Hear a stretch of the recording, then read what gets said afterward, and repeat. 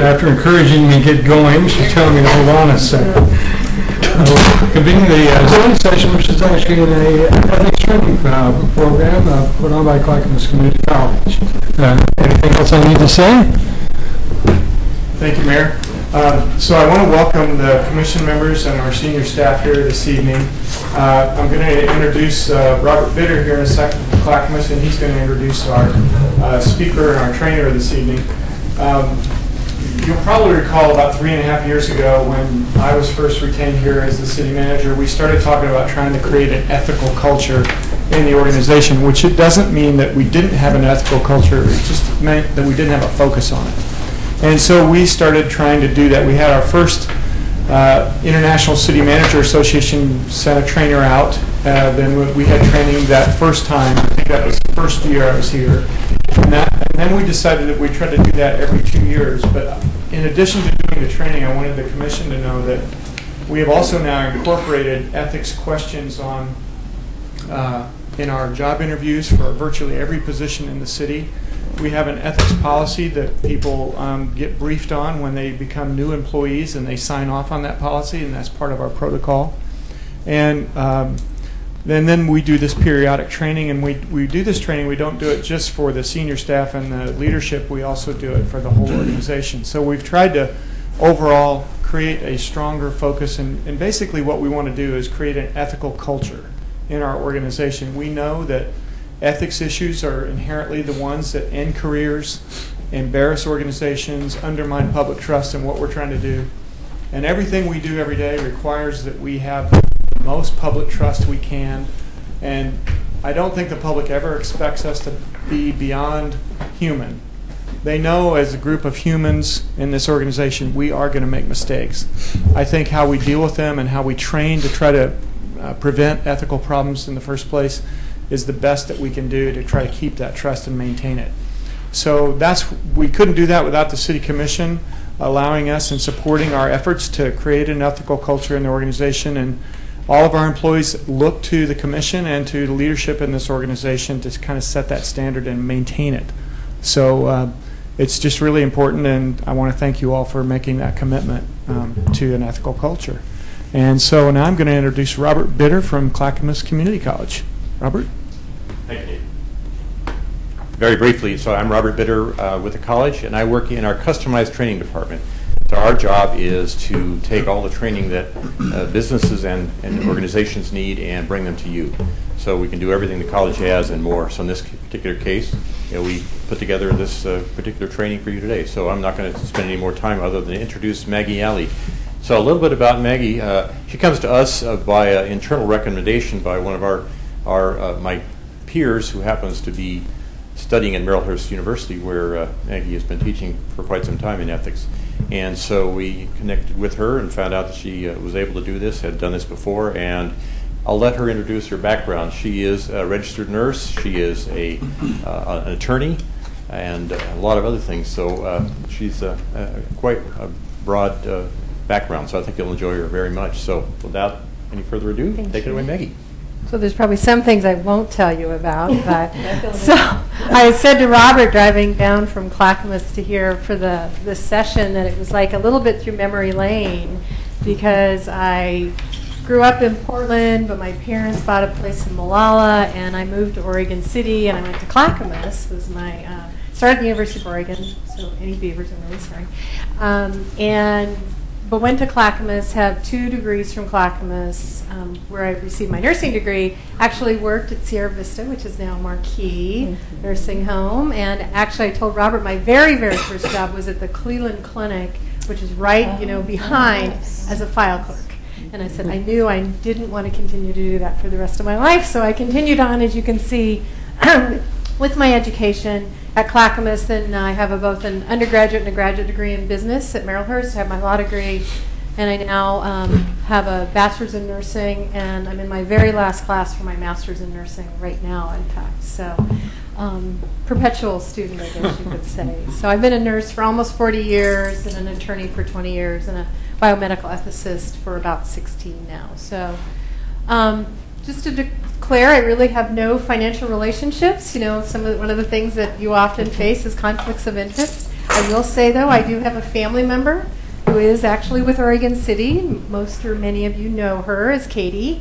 Riggs is my niece, and so, but she had nothing to do with my being hired. So, but I have to disclose that. So, and I did get to see Katie just before she went today. So, um, there we go. So the program objectives today, we really want to hopefully have this be an interactive session. We want to talk a little bit about the basic ethical concepts. I don't go into a great deal of theory because I want to keep you awake and moving as we go. Um, we want to talk about what it means to be in an ethical organization. What are the elements of really ethical leadership?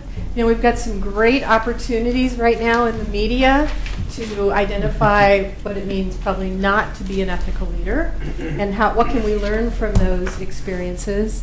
We want to talk a little bit about ethical decision making and moral reasoning. How do we make decisions that are objective? So often, because of who we are, we bring our own values and our own perspectives, but how do you step away from those, still making a decision, particularly when it may impact you personally? And then really talk about what is a good framework for ethical discernment? How might we make decisions from that ethical basis? So, you know, what is ethics? I mean, it's one of those kind of almost vague and ambiguous things. Um, you know, it's a science of knowing right relating. How do we relate to one another in a way that we know that it's right? Um, and I really appreciate this from Brother David Steindl-Rast, who says ethics is how we behave when we decide we belong together, when we're going to work together and we're going to collaborate. And what does that mean in that terms of that relationship and the contract we have with one another to interact in, in a way that's productive and, and we'll, we'll explore that. So you have a very full set of slides. That's really for you to take with you. I'm not going to sit here and read through them. We're going to probably go through some. We'll talk about some cases. But I really wanted to provide you something that would be a toolkit that you could take with you for future reference. So think about ethics. Um, so when you think or when you consider what is ethics, what's the first thing that might come to your mind? And I know you're not all shy, so Kathy. Honesty. Honesty. Okay. Other thoughts around ethics? That's a really good one. Behavior. Behavior. So one's behavior or how they're perceived to behave might be another because the public, particularly in public service as elected officials, you might be doing everything right, but your constituents may perceive something different. I think you've probably encountered that. So how do we deal with that and how do we balance that? Jim? Front page of the Oregonian test. Yeah, the as I call the which we'll talk about under publicity test is the M&M test. The mom and the media. you know, if you're going to do something, could you defend it before your mother? Or can you defend it on the front page of the Oregonian? Or worse yet, what? The front page of the Willamette Week. Not that it's worse, but it could, creates a little more challenge, I think. So, are there thoughts about ethics? When you think about what ethics is, what it means to you personally? Yes. Um, I don't know why, but I always think it's kind of tricky because it seems like you could be going along thinking you're doing something right, and then it seems more complicated to me sometimes than it needs to be. Like, right like unintentionally you could be doing something wrong. Right. And maybe that you then maybe that means you're still ethical or I don't know. But it does seem like you could get kind of trapped sometimes in, right. in the positions that we're in. So sometimes I think, and that's a great point, we can be doing something and believe we're headed down the right path, but others have a different opinion. Or sometimes, and we'll talk about that whole concept, which is one of the ethical theories around egoism. We do it because it's about me, and I have the power and the ability to do it, but is it really the right thing? It's right for me, but is it right for the community as a whole? And in public service, that's often what the most major thing is we're acting for the community good, which is utilitarian concept. How do we support the greater good in the greater community?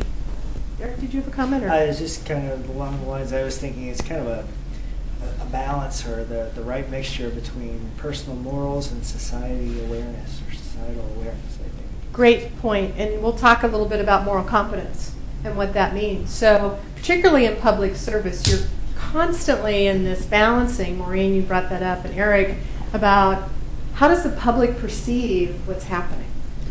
You know, what we're doing, we think we're doing something right, but what is the perception of that greater community and such? So, so we'll talk about that, but it often investigates kind of right and wrong. And as we'll see, ethics, when it's, um, I I just, I want to make Oh, I'm sorry. comment. Uh, I don't think it's always clear, black and white, and I just go back to the time when we had a, a porn shop that got established here in Oregon City, and there's a great deal of concern about that. The fact is, the law doesn't permit you to do anything about that. right, right. And so, um, So your the- hands are concept, tied. the concept of right and wrong, legal or illegal, I mean, they're not, they don't necessarily fit with each other all the Right. time. Right, and that's a great point. Just because something's legal doesn't necessarily mean that it's moral or ethical. Yeah. And a lot of people think, well, how could it be legal? It's not ethical. They're really two very different things, so that is a great point. And you know, and if it was black and white, that would be really easy. But so often, as we'll see in a couple minutes in the slides, oftentimes things are gray. It's ambiguous. Or you have to choose between two good things or two bad things. It's almost a choice of evils. And that's even, I think, a more difficult dilemma to be in. So um, we talk about, it asks the fundamental questions around ethics. How should I live my life? What sort of person should I strive to be? What goals and what standards and principles should I live by? And oftentimes in public services, what does the community expect of me? Because you're constantly, I know, as leaders in public service, you're constantly under scrutiny. So, elements really, when you think about public service ethics, it's really to establish that standard of conduct that's expected in the workplace. So, as you know, David mentioned, we want to look at how do we create an ethical organization. And we'll talk a little bit about what it means. I mean, employees want to work for an organization where they can feel good about coming to work, where they can feel that people are there's honesty and transparency. We want to determine the appropriate use of power, choices, and personal discretion. I think that can sometimes be a challenge. We want to ensure that decisions focus on the public good, so we talked about what does it mean to have that greater whole for the community, and free of personal bias. Again, we each bring our own perspectives, our own values, and it's hard not to be influenced by those. That's human nature. So, how do we as leaders try to not necessarily set those aside, but how do we learn to reconcile our personal bias when we have to make a decision, sometimes a very difficult decision? And it's more about adherence to the law, so Mary, you raised that point, but it's doing what's morally and ethically right. But sometimes, as you say, the law requires that we do certain things that morally and ethically we would do something different hmm. if we could, if our hands weren't tied. And I think that's some of the challenge. So when you think about it, people make moral decisions between right and wrong. We do it every day. Do we stop at that yellow light? Or do we go through that yellow light? So I don't know if you've been following the news in Beaverton. Beaverton City Council is dealing with a major issue at Lombard and Allen because the light is so many seconds shorter there when it's yellow than it is in other parts of the town. And so there have been members of the community that have been out there timing the light, and they're claiming that the city has done that in order to raise additional funds. So it's really an, an ethical dilemma. Is it just a matter of timing, um, or was there really some intent to do that? So we want to do good. Some actions, as we said, it's really pretty easy to decide if it's a good action or a bad action. I think most of us would agree, you know, if you're going to do something right or if you're going to do something wrong. Most of us um, have, I think, that certain level of personal subconscious or consciousness that we're able to do that. Those aren't necessarily the dilemma. I think when you start to get into better dilemma, like I said, it's often really gray. You know, well, gosh, is this, and I know batter isn't a word, but it's a great word to use here. Uh, it's either better or badder, you know. It's often, it's a much more difficult decision. But oftentimes, where the peril is, is the decisions between two goods and two bads. And that's when, and there's no necessarily a right or wrong answer. It really depends. I mean, Eric, I think you mentioned it earlier, it depends on how it's balanced. And sometimes you have to balance what that benefit and what that harm is. And does the benefit, you always want the benefit to outweigh the harm. It's a utilitarian principle of making ethical decisions. So here are some thoughts about what is ethics. Has to do with my feelings that tell me what's right and wrong. It can do with our religious beliefs. It can talk about what is the law and what are those societal norms and how do we consider each of those. And sometimes you just don't know. You don't know what the word means because it's so fuzzy and it's uncertain. So it's part of what we want to do is kind of explore what does it mean to be an ethical leader and how do I act in such a way to be that ethical leader. So there's two common sense things. It certainly refers to this kind of well-established standard between what's right and wrong. It's supported by this concept of reason, was a Kantian uh, principle. And it really talks about the development of one's own ethical standards. To be an ethical leader, you have to be ethical within yourself. To be within an ethical organization, because the organization, of course, is made up of people, you want to make sure that you as a leader are abiding by those own your own ethical standards. But it's a continuous thought process. You're continuously thinking and questioning and really considering and balancing. There's no easy answer. So, moral judgment situations really require that active decision making process.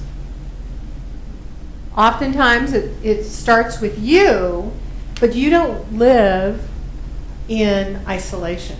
You're influenced by all kinds of different contexts with which you um, function, which with you with, with which you in which you act. Sorry. Um, so oftentimes you ask about so what are your core values? So your community or your organization has core values, but each individual should also have have core values. And so you know this is actually in personal ethics and organizations, which is one of the classes I teach at Marylhurst. I have students explore what are your core values. Some of them have never really thought about. You know, what is it about me that's intrinsic and fundamental? And then some of them say, but I have a core value from when I'm at home and I have a core value when I'm at work. And I always kind of push back and I said, well, if it's truly intrinsic to who you are, how can you have two separate sets of core values? Isn't the core value you because you are part of this greater community and to have consistency doesn't have to be the same. Now, the organizations may have core values, and I think that's often an area of potential conflict when, and I've been in that situation and been in organizations whose core values were very different from mine and had to make decisions around do I stay employed in an organization where I don't know that I can abide by values that are so different? And I see nodding of heads, so I think probably others have been in similar situations. But again, your values and the context is never in isolation. It's really around how it's influenced by this really overlapping uh, context. So there's some trouble moral moral questions. Is there value, and where is that? But these are the kind of things you ask. And if you think about the decisions you make in your daily work or as members of the commission or as senior leaders, you probably are faced with many of these questions. Is there an absolute? Is there anything that's ever absolute for any of us? So people like to say no lying, no cheating, no murder, right? But are they really absolute? We go to war and people die. We have capital punishment. Do we lie? Well, we do tell our kids there's Santa Claus. Some would say, well, that's a little white lie. Do we cheat? Well, sometimes the weight on our driver's license or our height might be different than it really is. so is that cheating a little bit?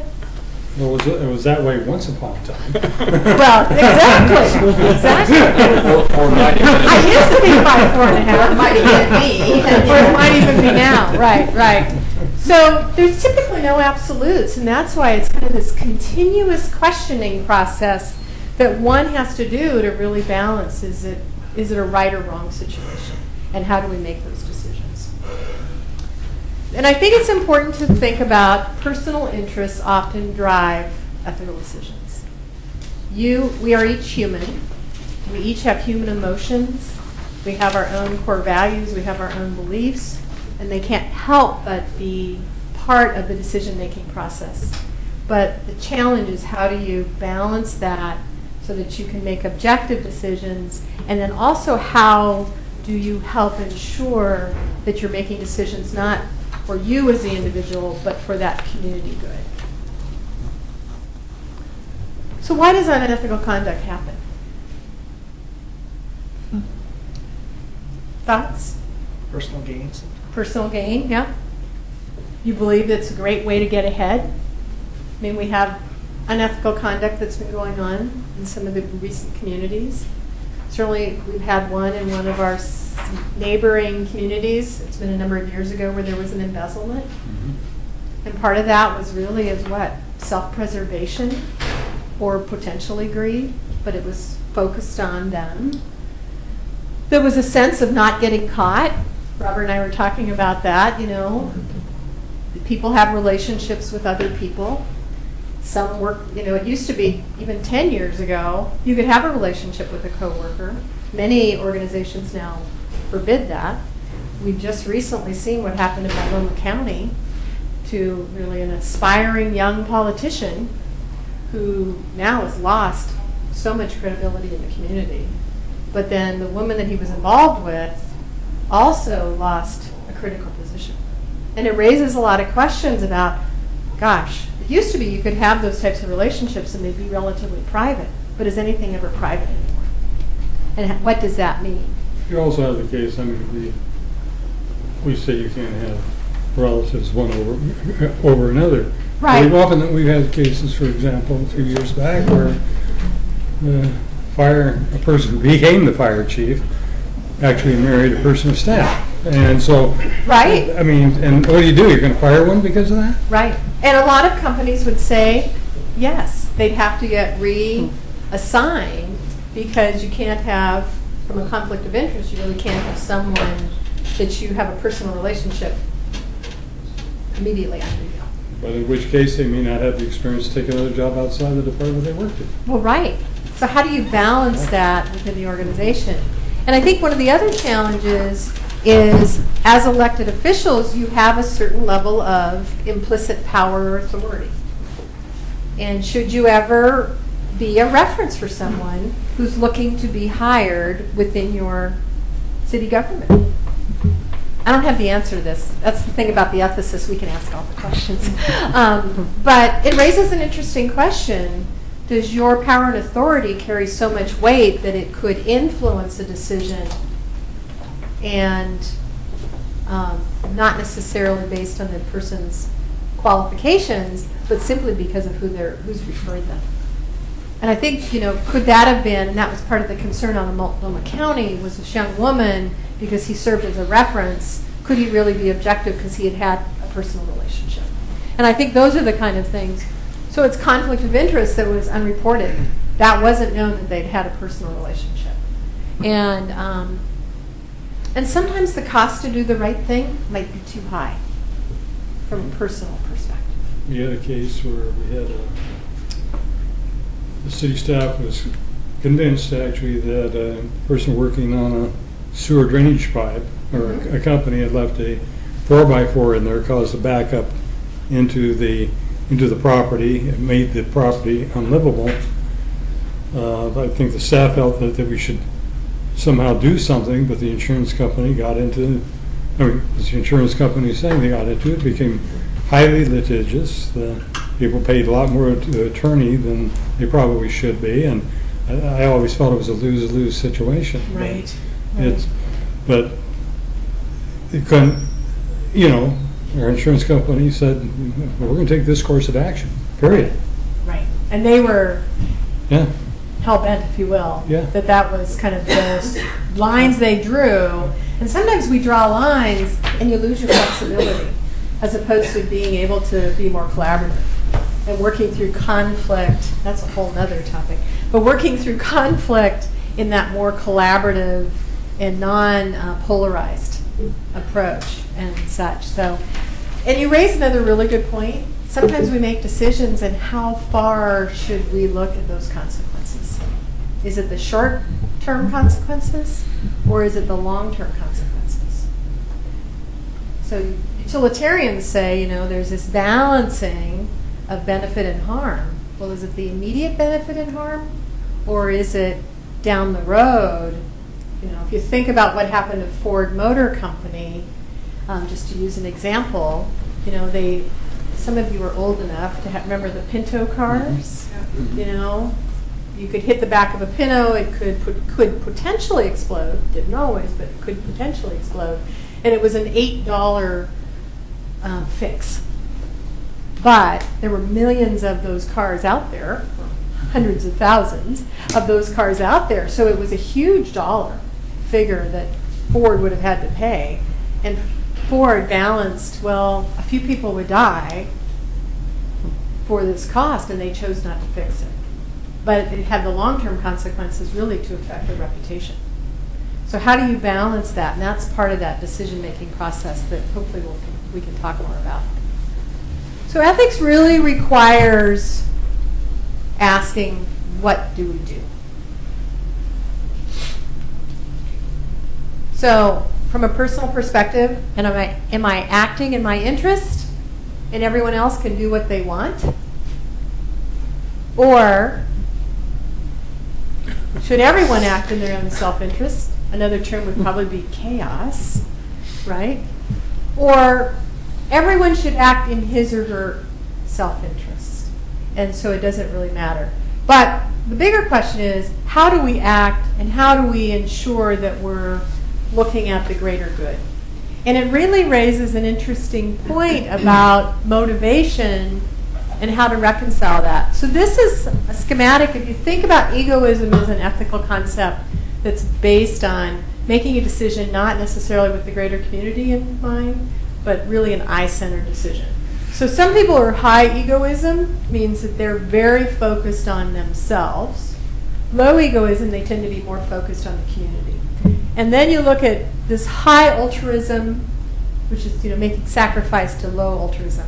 I br- bring this in because of kind of where people are as individuals and how we tend to respond and act around these kind of ethical questions. That ideal state is having self interest for others. So you're highly altruistic, and I think those in community service tend to be. And though and have you have a certain level of egoism because you have to in order to be willing to step up and stand up for others to be an advocate. And but you can see when you have lower altruism and high egoism well you act a, at the expense of others and so this is just kind of to give you an idea of kind of if you think about just yourself and i won't have you do it but often with students i'll ask them where do you put yourself on the scale? If you had to think, gosh, how do I personally act in my daily life, how I respond, what box would I would be in? We'd all strive to be in the ideal box, but sometimes when we're true to ourselves, that may not be where we always find ourselves. And that's part of that challenge. So dilemmas, again, are really the tough choices typically pitting one right against another. Sometimes it can be that choice of evils, pitting the wrongs against each other. So think about some really tough ethical choices. I know that's kind of small, but um, so if you think about some of your own decisions that you have to make, do you I'm trying to think, there was one. Do you extend equal social services to everyone regardless of race or ethnic origin? Or do you pay special attention to those cultural backgrounds who may have been denied opportunities? So the disenfranchised. So if we think about health plans, health coverage, do we differentiate who receives? We do. Oregon Health Plan is a system that's primarily geared at what? Providing care for women. One of the largest groups of uninsured is younger age men because none of the system, WIC doesn't cover them, and technically OHP won't cover them. So you find a lot of younger age men without insurance, particularly if they have no employment. Because, and they're, they're but you don't hear it talked about much. And it's going to be interesting, I think, as we see, you know, the new health exchange come out and what the availability of coverage is going to be. But this raises kind of some interesting um, kind of juxtapositions, if you will, about making tough choices. Do you find out all you can about your competitors' costs and their price structure, or do you only obtain information through proper channels? So the right thing is to obtain the information through proper channels. But if you're really competitive, you want to win, right? So you're, some people would say, well, I have to get all the information I can. And if I can get it, and right now everything's relatively available on the internet, it, it raises kind of that dilemma. Is it the competition, am I winning, or is it doing it the right way? And I think those are some of the challenges. Certainly in Oregon, we've dealt with that very top bullet. Is it about the forests or is it about protection of our owls? We're now no longer really as endangered as they were, but how, what little logging do we do now? And really, it's loggers who are still out there who really have very little financial capability now because of um, the changes. And that's not to be judgmental, that's just to say you can see that there's some interesting juxtapositions. Or um, do we bench the college uh, quarterback caught drinking the night before the championship game, or do we field the best possible team? So we saw this happen at the University of Oregon. Right? One of Mike Bellotti's star players got benched for part of the season, and then he let him play. And when it came to that big game, and there was a lot of concern of, are you true to yourself and staying by your belief that you're going to act this way? And what did it say to this young man who knew he had done wrong, or you want to believe he had done wrong? So those are kind of some of the tough ethical choices. So when we think about conflicts and conflict resolution, those four outside boxes we can typically address. It's when we get to that center section on values that's often the most challenging.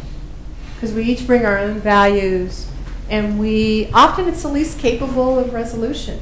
My values may be very different from the mayor's, but his I have to honor and respect, just like I would expect him to honor and respect mine. He may not agree with them, and so when you're in a conflict situation, it can be really challenging because our tendency in conflict is what? Is to get polarized. Is to get, you know, as you said, we draw this fine line. The insurance company wanted to make sure that we weren't crossing over and we were going to take this to full litigation, even though litigation may not have been the best answer and spent probably way more money than needed to be spent. So oftentimes, if we think about ethical issues, we look at this, um, you know, so it's, as I said earlier, it's not about right or wrong. It's oftentimes this right versus right. So truth versus loyalty. So as people that are in either elected positions or in senior leadership positions, you may know something about a decision that's going to be made that may affect your neighbor. But given your position, you know, can you tell your neighbor about that? Do you have that loyalty? Is your loyalty to your job, to your position, or is your loyalty to those that you have a close personal relationship with? Is it about the individual or the community? So we talked about that earlier, is that this egoism about, it's about me, or is it about this greater community?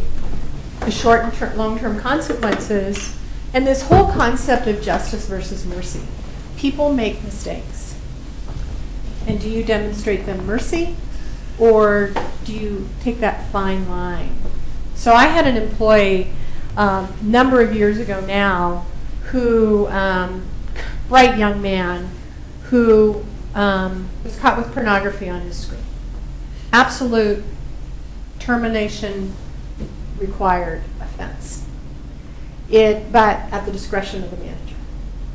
And so we sat down, he was terribly embarrassed because, you know, I'm female manager for him. And, um, and he was found because he walked away from his computer and one of the female employees saw that. that- He was using the company's computer. That's right, and that was really a key piece. Yeah. So technically, he was on work time, he was using the company's computer, I mean, and he had pornography on the screen.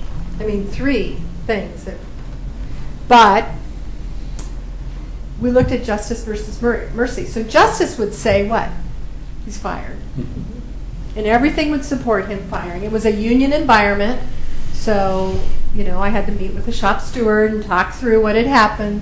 Shop steward agreed, but I really felt that this young man was in trouble. There was, he had no bad behaviors. He'd been with the company for years. And I just sat him down and said, you know, it's kind of like, it reminds me of um, Jay Leno when he sat down with, why can't I think of that actor's name? Hugh. Hugh Grant. Hugh Grant. And he said to him, What were you thinking? And I said this to this young man. I said, What were you thinking? You're at work. A young, young female employee saw this.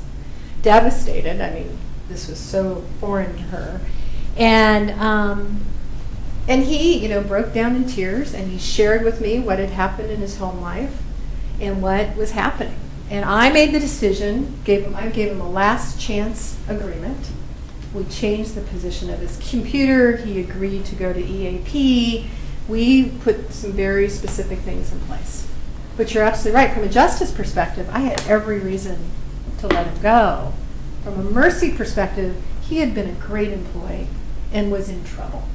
And he admitted he was in trouble because of stuff that was happening in his home life. And from a mercy perspective, from an ethical perspective, I made the decision to keep him on. Um, yes, John. So all the bullets up there make sense to me, except for truth versus loyalty. That loyalty piece seems to me to be a good way to get into trouble. Truth seems like would always prevail over loyalty. I'll tell you though. So, so can That's you, a ex- really- can you explain to me what you're thinking? Uh, The other one's all balance, individual, community, short-term, Yeah. long-term, justice, mercy, but truth and loyalty, I'm going. Mary, did you want to say something? Well, we had a person that was responsible for, for Tri-City Sewer Complex, an engineer. He was before the, their county commission, he answered a question truthfully to the commission, and the administrator fired him. Because he wasn't being, He was being truthful. he was being truthful, but he wasn't being loyal. Well, That's see, a- that, who made the ethical problem there? Was it Yeah, the that's right. administrator that fired Right, him or? yeah. So I'm still trying to figure out loyalty. Uh, Loyalty is important, I get that. Right. But, um, but if it came to truth versus loyalty, um, Right, but Which- some people would believe that they should be loyal. So that's a great example where his boss felt the loyalty should prevail over telling the truth. Now, who created the ethical dilemma? right, that's, Mhm. that's, The, the fellow who was testifying was being true to his own truth, right? And by telling the truth, and that's what you would expect. But here, his employer said, you were being disloyal to me, and it was grounds for termination. One could argue that, boy, that's not the right path to be on. But we've seen that. And I think that's sometimes a challenge, that loyalty for some outweighs being Well, and you've got that, and of course, going on in terms of the, in terms of the um, Bonneville Power Administration, where whistleblowers are apparently fired, but you've got laws that are supposed to protect whistleblowers. Right, yeah.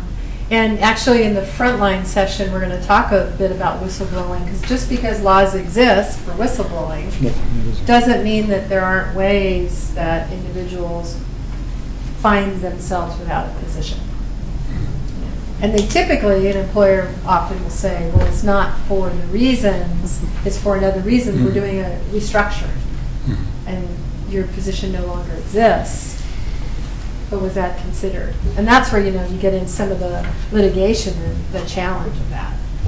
But, you know, unfortunately, some employers have found their way around some of those whistleblower um, protections. Such, so. So when we think about ethical problem solving, so we've already talked about it's that weighing of the benefits and harms, looking at what are those consequences, sometimes looking at the short term versus the long term. Um, what are the moral rights? And I mean, so John, you raised a good point. That individual in the mayor's example was doing the right thing by telling the truth. Morally, he could live with himself because that was more important to him than just being loyal. Whereas his employer felt the right thing for him to do was loyalty above truth. Because that loyalty meant more. And that's a value determination. There was a good example of that in a movie Yes, when Tom Cruise says, "All I want's the truth." right? In a Marine Corps. Yeah, that's right. You can't handle the truth. Few truth. good men, wasn't that the? Yeah. Yeah, and then he said, you can't handle And finally, they got to the truth. Yeah, There was a code red. Right, right. So that's a great example, actually. And we do see that in some employment. So oftentimes, um, and I think, you know, John, it goes to part of your point, is this whole concept of the integrity index. You know, so as public servants, and by, by that I mean the fact that you are in public offices, either because you work for the city or because you're in an elected position, there's oftentimes a bright line between right and wrong. But sometimes it can be a little blurry. It's that gray area we talked about earlier, and it's often influenced by values and perspectives. It's important to understand where your biases are. And how do I reconcile? How do I either disclose that I have a bias? Or how do I come to terms with that bias that either I recuse myself and or I'm able to set it aside to be objective? And others judge where the bright line falls. So you may believe that you're here, but how you're perceived is it's influenced by how you act or how others see you act. And I think, you know, we'll talk about that a little bit more as well. So it gets to this whole on concept of integrity. So Kathy, you brought up one of the key elements of ethics is this concept of honesty. So with honesty, oftentimes you see integrity. Um, it really is this concept that we speak of, but do we really know what integrity is? And as you'll see in the next slide, it's oftentimes we know what integrity is when it's not there, when it's missing. So, um, is it what you believe, or is it how you believe it? Is it telling the truth, or being true to the truth that you tell? So I go back, Mayor, to your example. The fellow who testified was telling the truth and was being true to what he felt he needed to, even though he may have known that he would lose his job. And sometimes, as I mentioned earlier, we find ourselves in some employment situations where our, our values and that of our employer in- are in conflict. And we know they're in conflict, and sometimes we have to just step away from that situation. Um, is it being morally upstanding, or is it standing up for the same personal morality no matter what the context? So is it having that, this is the only way I'm going to think about this issue? Or is it being willing to say, sometimes that issue may differ depending on the context? And again, we don't necessarily have a right or wrong answer, but I think it's asking those really important questions. So really, building public trust requires integrity, and it's really at the foundation of what we do. It has everything to do by our behavior and our actions. It's what people perceive and what people see. It's what they witness. It's acting according to shared values. One of the things David said is having this culture of ethics and having an organizational. You can say you have an ethical organization, but if it's not practiced and if people don't see it, they probably don't believe it. So it has to do, and we'll talk about that, it has to do with transparency. It has to do with demonstrating integrity. And how you act influences how you lead. So again, integrity is often determined by what's missing. So I think, you know, you'll meet someone, I think we've all had that experience, where you just don't feel comfortable with that person. You get that gut sense and like something's missing. There, you don't find them to be either truthful or honest with you. And it's oftentimes because what's missing is that sense of integrity about that individual. So there's certain characteristics that I think are important. So we talk about integrity, we talk about maturity, being able to express commitments with courage. So when you serve in your elected positions, there's a fair amount of moral courage, and we'll talk about moral competence and moral courage. And then there's this abundance mentality. It's being able to see the possibilities. And I think if you think about an ethical organization, you see each of these. You see a higher level of engagement because people are able to see po- the positive growth potential. They're able to exchange ideas without fear. And, um, you know, the next couple days, and then next week we'll be meeting with managers in Frontline, and they actually have a certain different variation of this same talk, more focused on what are the issues around management and what are the issues for Frontline. But part of it we talk talk about is how do they engage in the process within an ethical organization. So ensuring integrity is some building blocks are honesty, dependability, fairness, and accountability. And it's having that at all levels of the organization. So this is just one of my favorite. I know this is from an old book, but it's one of my favorite quotes from Covey that talks about real leadership power comes from having an honorable character. Being able to stand by what you believe in and your principles and really demonstrating those. And oftentimes, that last part, a more fruitful approach is often to look at followers rather than leaders to assess leadership by asking, why do the followers follow? So, you know, one of the key um, theories around leadership right now is around transformational leadership. And part of that is because you have this engagement that's so different from older theories of leadership, where you actually have the leader engaging as opposed to being more top down, autocratic. So if you think about his power process, there's different leadership approaches. So you can have this principle centered power, which is more transformational, and it's around honor and sustain proactiveness and influence. You can have utility and fairness, so that's kind of the middle of the road. But you can have you know, and again, go back to your example, Mayor, um, coercive power. You can have leaders that lead by power and fear, and it's temporary and reactive. And followers don't follow in that situation. That is, won't result in an organizational culture that's ethical. You really need to be to this far side where people feel engaged and they see the transparency of leadership. And again, I'm not going to go all through this, but this kind of gives you kind of that separated, this four levels of what you want to see around shared visions and principles, strategies, and you'll have more alignment in terms of, and this is again Covey's paradigm. So if we think about institutionalizing ethics within an organization, it's really acknowledging the importance of the necessity of conducting business. So one of the things we'll talk about um, the second part tonight is how do we make ethical decisions and what is a decision-making tool for that. We'll get into the publicity test, Jim. We're doing that. Um, you want to make an effort to encourage uh, your people to take moral responsibility seriously.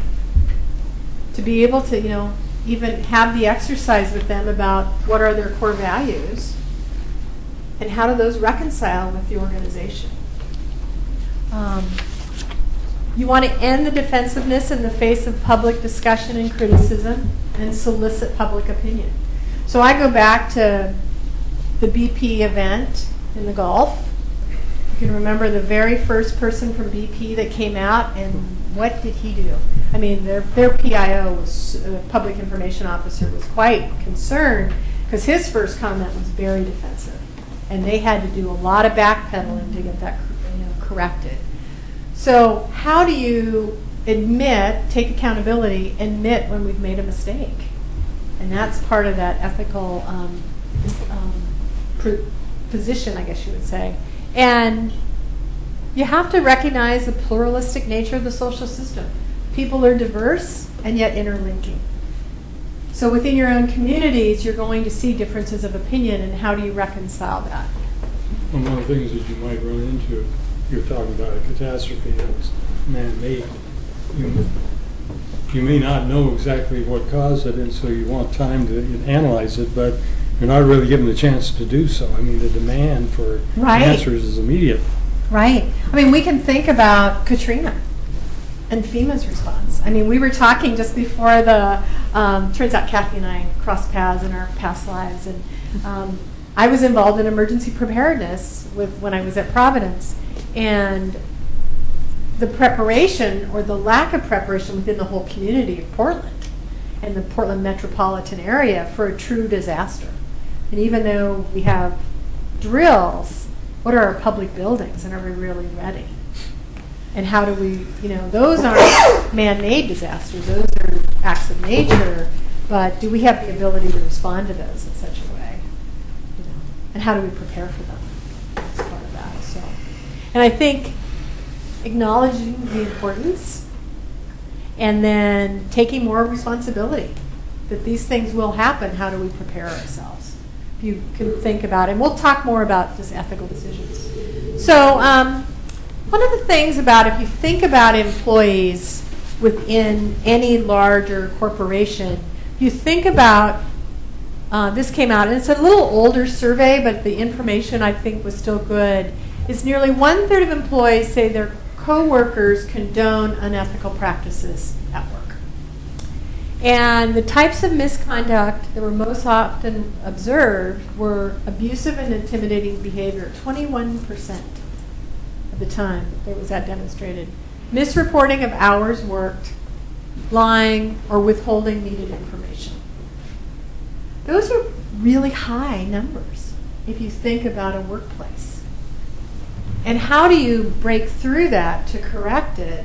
So, um, and I don't know if we've ever done a survey locally. I mean, this was a big national survey that was done, but it raises some really interesting questions.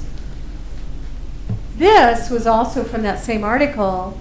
Employees in transitioning organizations, so those that are going through mergers or acquisitions, could be a restructuring of departments or divisions, observe misconduct and feel pressure at rates that are nearly double those in a more stable environment. So, as an employer, having stability within your organization is really important because you know you have the potential to really have higher rates of misconduct when there's instability. Kathy? Oh, I remember back in our previous life, Our uh, previous there was life. a precedent between Robert Polari and doctor Mhm. Brown. Dr. Uh, Delmonico. Yeah. And he came and went very quickly. Right. And that destabilized and really demoralized a huge percentage of the Right. employees. And they were doing employee surveys at the time, and things just went Right, right. with, with, because there was something perceived in that person, even though he was, you know, top of the organization, it wasn't quite right. Right. And what was really interesting about that is he was also not seen. Uh-huh. He so rarely was seen by frontline that there was a lot of unknown. There was a lack of transparency, is what you heard most often from employees. This is from one of the larger health systems in Portland. But it really goes to this whole idea of the instability of leadership and how that can affect frontline employees. So you being strong ethical leaders helps employees see you as role models. So your, and we'll talk about moral competence in a minute, being able to demonstrate that has a positive influence, and as you said, in valuing employees versus devaluing, mm-hmm. and feeling more secure in their work. And I think this last bullet, it's interesting. It says, despite an overall increase in reporting misconduct, nearly half, if you'll read that, so 44% of employees still did not report misconduct. Primarily out of a belief that nobody would do anything, because that had been the pattern in the past. And they didn't think the report would be kept confidential, and it was out of fear. So how do you help create an environment where that doesn't exist? So doing the right thing in business matters. I think you probably see that in your own organizations and certainly within the city. Um, you save money, so Mayor, here you go. Billions of dollars on lawsuits and litigation. You know, if you look at nationally what's spent on that, um, settlements and theft. And I think it's interesting, this is, came from this uh, article called The Cheating Culture. It's estimated that theft costs companies $600 billion.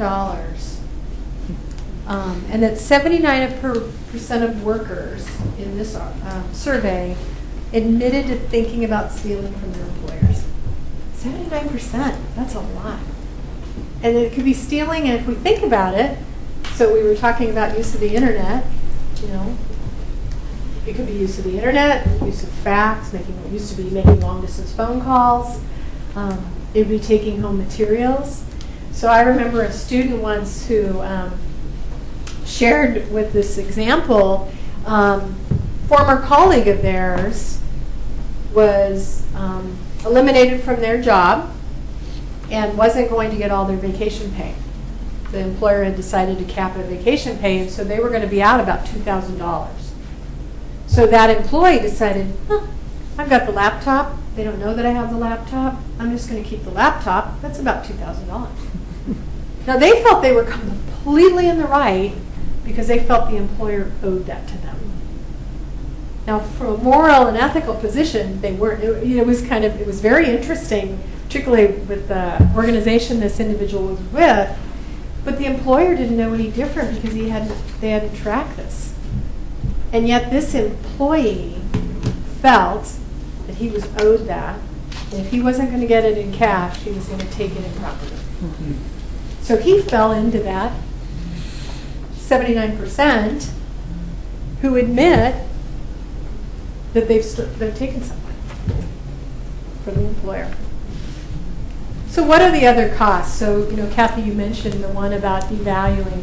You have deterioration of relationships, damage to reputation, declining employee productivity and loyalty, ineffective information flow, and increased absenteeism.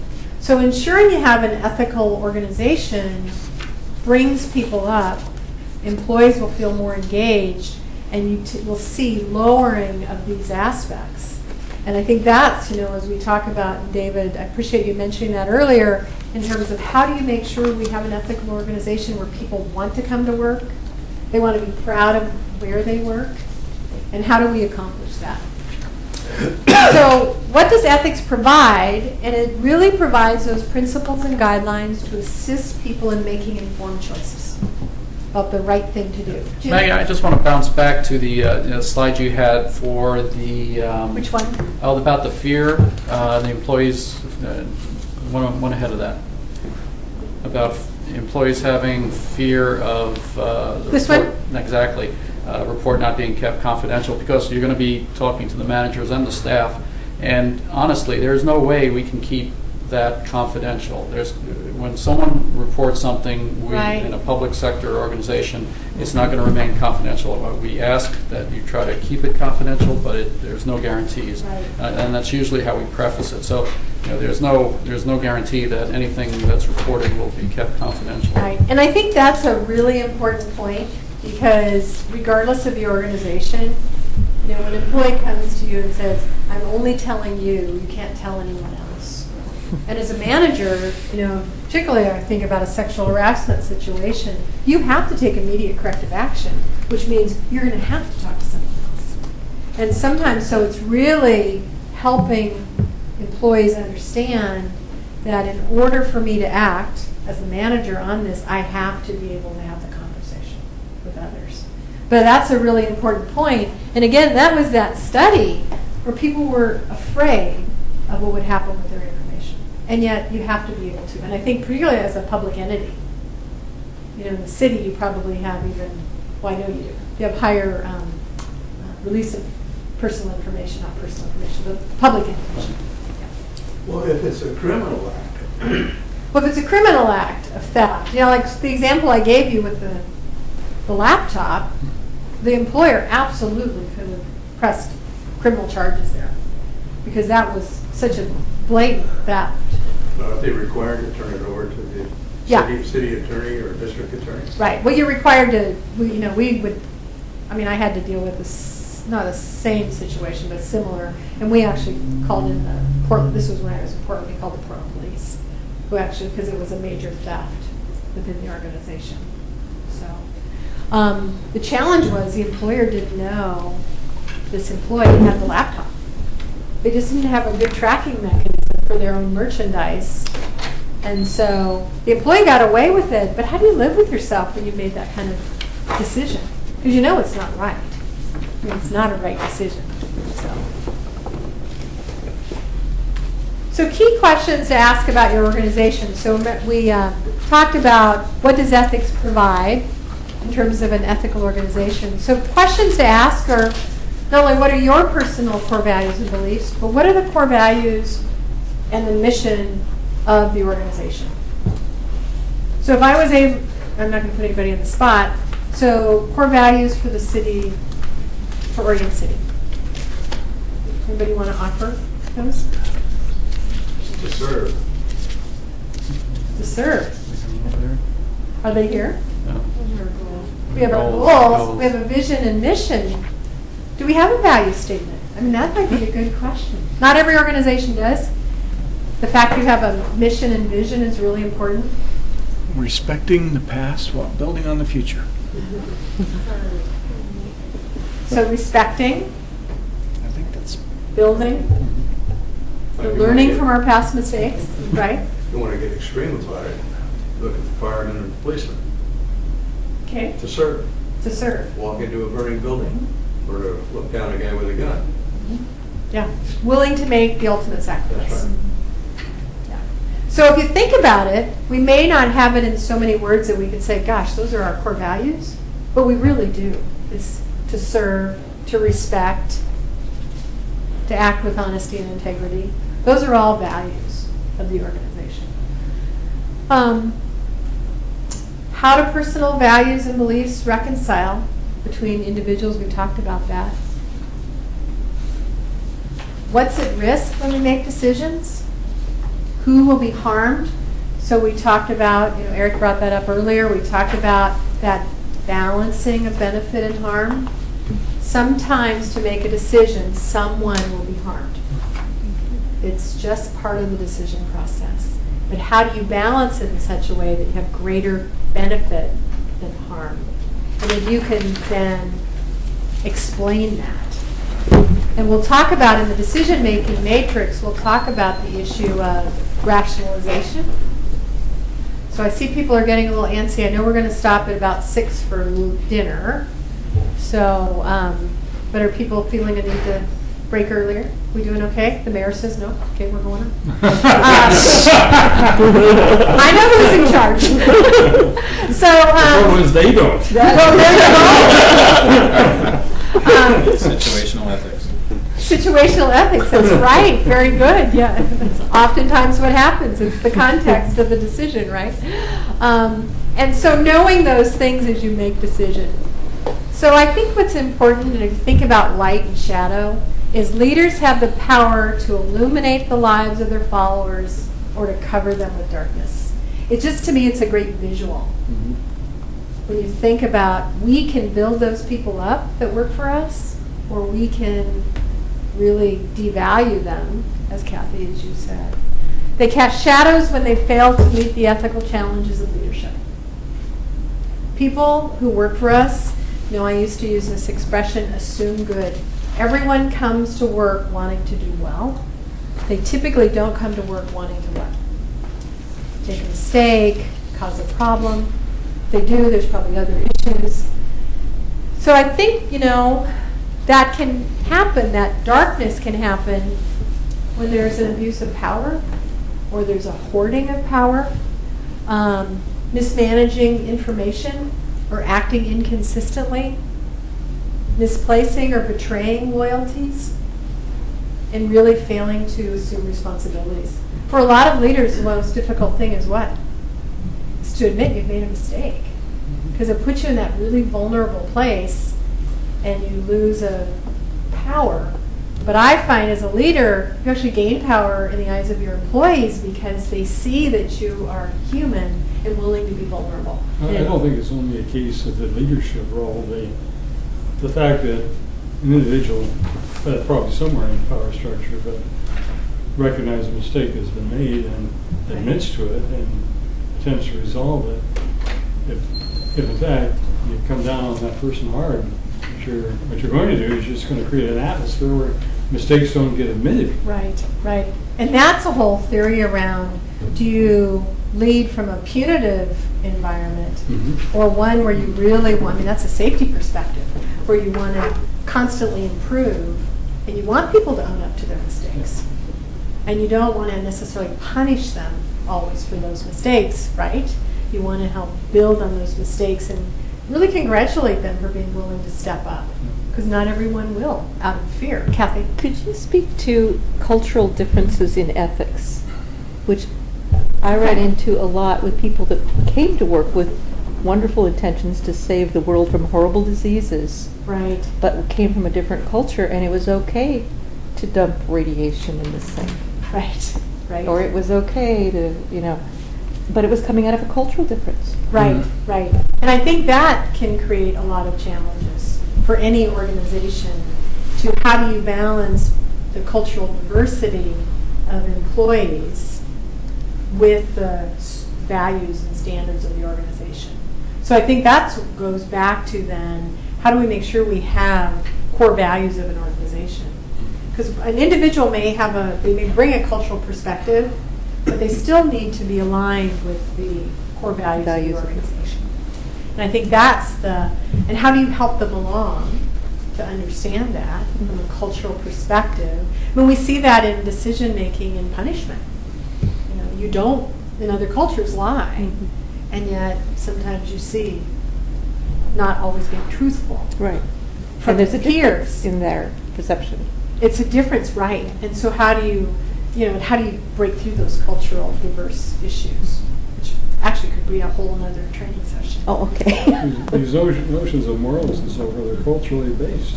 Well, absolutely, Mhm. absolutely. So it, you know, and it all goes down to one's individual values. Right. Because from a cultural perspective, they're going to bring different core values just because of their culture that we may in a different culture. You know, that I may, or you may, or Doug may. Because we're each individuals and we're each influenced what, by our upbringing, our religion, our um, where we hailed from, you know, Midwest roots, Canada, Northeast, Oregon, you know, absolutely I mean, Oregon. Some of us are a lot of- I mean, a lot of the tensions that we have are oftentimes s- centered around cultural differences or Right. what, what one group feels is moral and what another group feels is not. Right, right. And how do you, how do you tease through all those? Yeah. And so one of the things we'll talk about is kind of that ethical discernment approach in terms of how do you look at an issue and try to balance all of that out. So I think that's part of the key thing. So, so oftentimes it's asking yourself, do you have the capacity to lead? Can I, do I have the moral competence, the moral courage to be a leader in an uh, ethical organization? Um, it requires having a heightened moral capacity to really be willing to, John, be true to your own truth. To know that telling the truth and having that level of integrity is a critical piece. To being objective, to have the capacity to understand the differences that other people bring and not get polarized by that. Um, so increasing one's moral competence is key to that. So it's having that self-awareness, it's having self-confidence, it's really developing what I call this healthy, healthy moral imagination. It's being able to step back and consider the possibilities, but really do a lot of soul searching and understanding your own values. Because that often goes to one's capacity. Um, and showing that last bullet greater resistance to outside pressures. So you're under pressure all the time from the public. But how do you make decisions that you know are the right decisions because they're for the common good? So there was, uh, I can still remember this legislative person, um, who's no longer with the legislature, but the story was the last person that talked to them before they hit the floor was the way they would vote. So you always wanted to be the last person because they could track, you could track all their voting record along that line. So you always wanted to be the last person that person was going to talk to before a vote because you knew to vote that way. And so they were always influenced by the outside and by where they were getting the greatest pressure, not necessarily by doing the right thing in that particular circumstance. So developing moral competence, as I mentioned, is that self-awareness. That's personal reflection, feedback. Being willing to sit down and actually have a conversation, a dialogue, and we'll talk about dialogue in a little bit, with your peers about where your strengths and weaknesses are. You know, what, what is it you see in me as a leader, or where are my weaknesses? Where do you see, if we're in a commission meeting, where I tend to demonstrate bias? Because sometimes we won't see our own biases, right? Hmm. Others will see it for us. So those are the blind spots. Where are my blind spots? And understanding what those are. Um, enhancing self-confidence, really that's part of that mastery, being willing to challenge one's own leadership and their one's own capacity.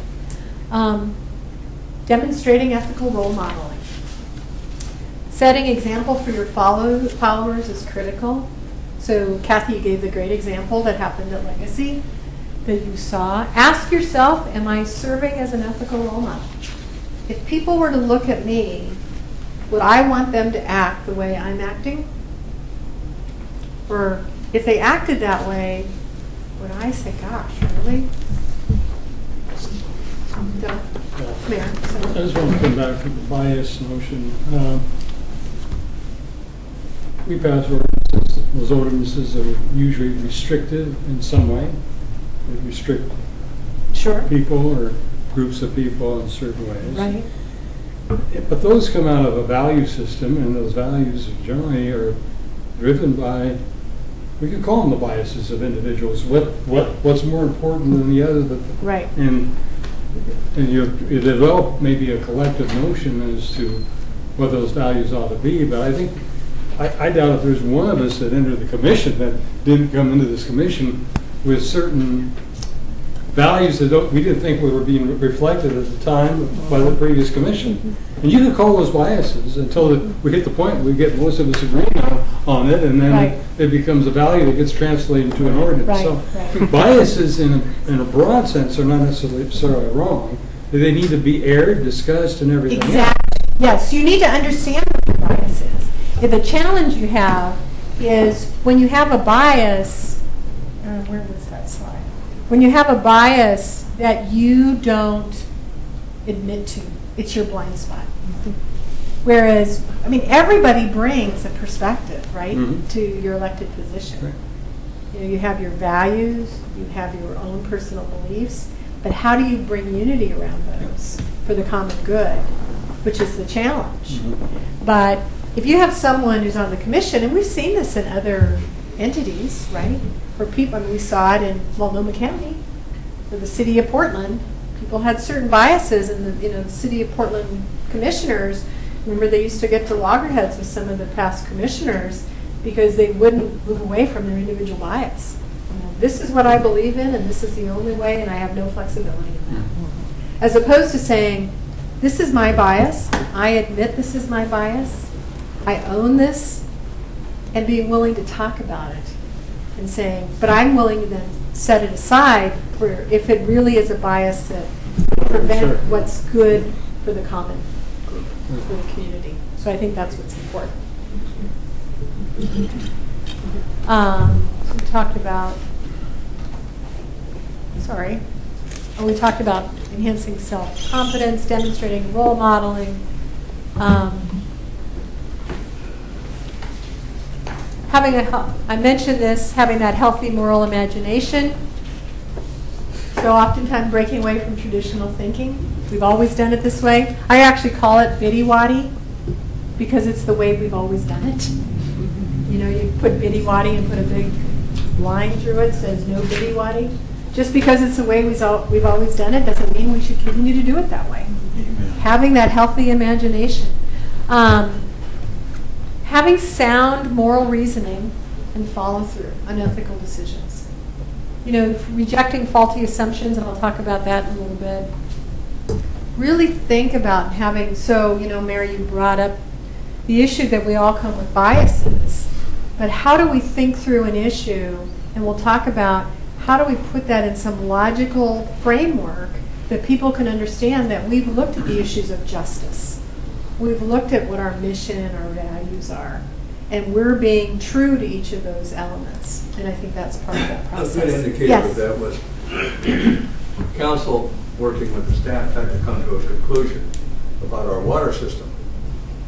Take a ton of information and collectively agree on it to represent it to the public, to convince them that this was the way to go. Right.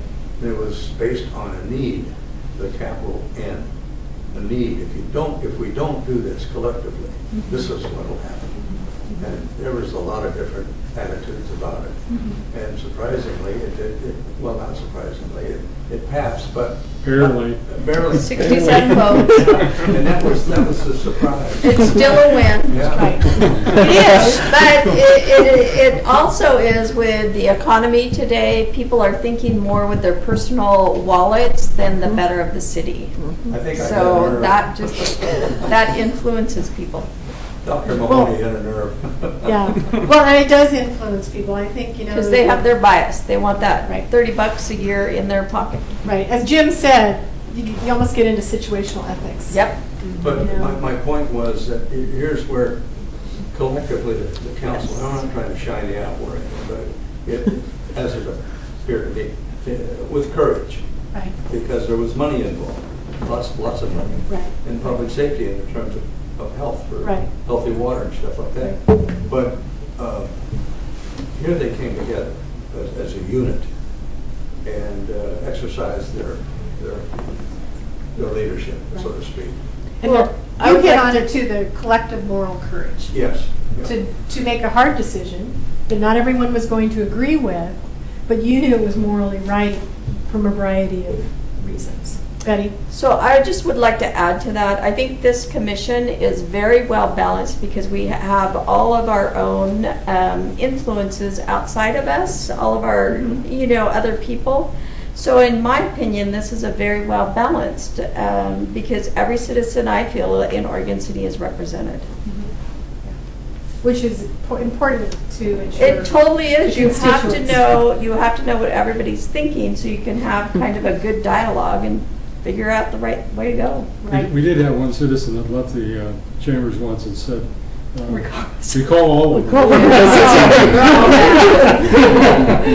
Well, we're gonna put him on that. As you know, being in elected office does not mean you're going to be loved by everyone. No, it does right? not. So, but you're going to make the right decisions for the community. And that is exactly what Bob was referring to with Right, this water rate thing. We did the best we could for our city. Right? And it really, you know, so it goes to this healthy, ethical climate. You know, it's making sound decisions, protecting individual rights, but fostering this moral reasoning, promoting integrity, and really avoiding destructive tactics. It's really being much more balanced. So it's a two-part process. It's developing personal and moral behaviors and ensuring moral influence. So you carry out your duties and shape the ethical context, context of the organization, which is, you know, Betty, you just gave a great example of that. So um, it produces a number of really positive outcomes to have an ethical organization. You lower the stress level, you can reduce turnover and absenteeism, you have greater employee satisfaction, greater employee commitment and engagement, um, a willingness to go the extra mile, improved decision making, greater levels of trust, and higher performance and productivity. I know I read through most of that because I think they're really key elements when you think about is this all worth it? Is developing an organizational culture worth it? And I would say yes, and this is supported by the literature. You'll see this time and again that having an organizational um, structure that's ethical leads to improved satisfaction among employees and improved levels of wanting to be part of that organization. Um, so there's some inner dim dimensions of leadership, and so we talked a little bit about that. It's that having that strong ethical character. So having courage to do the right thing, you know, particularly in the face of a lot of adversity sometimes. Having integrity or honesty. Having humility. Being willing to be vulnerable and admit sometimes I've made a mistake. Um, and it's not about me, right? It's about the community.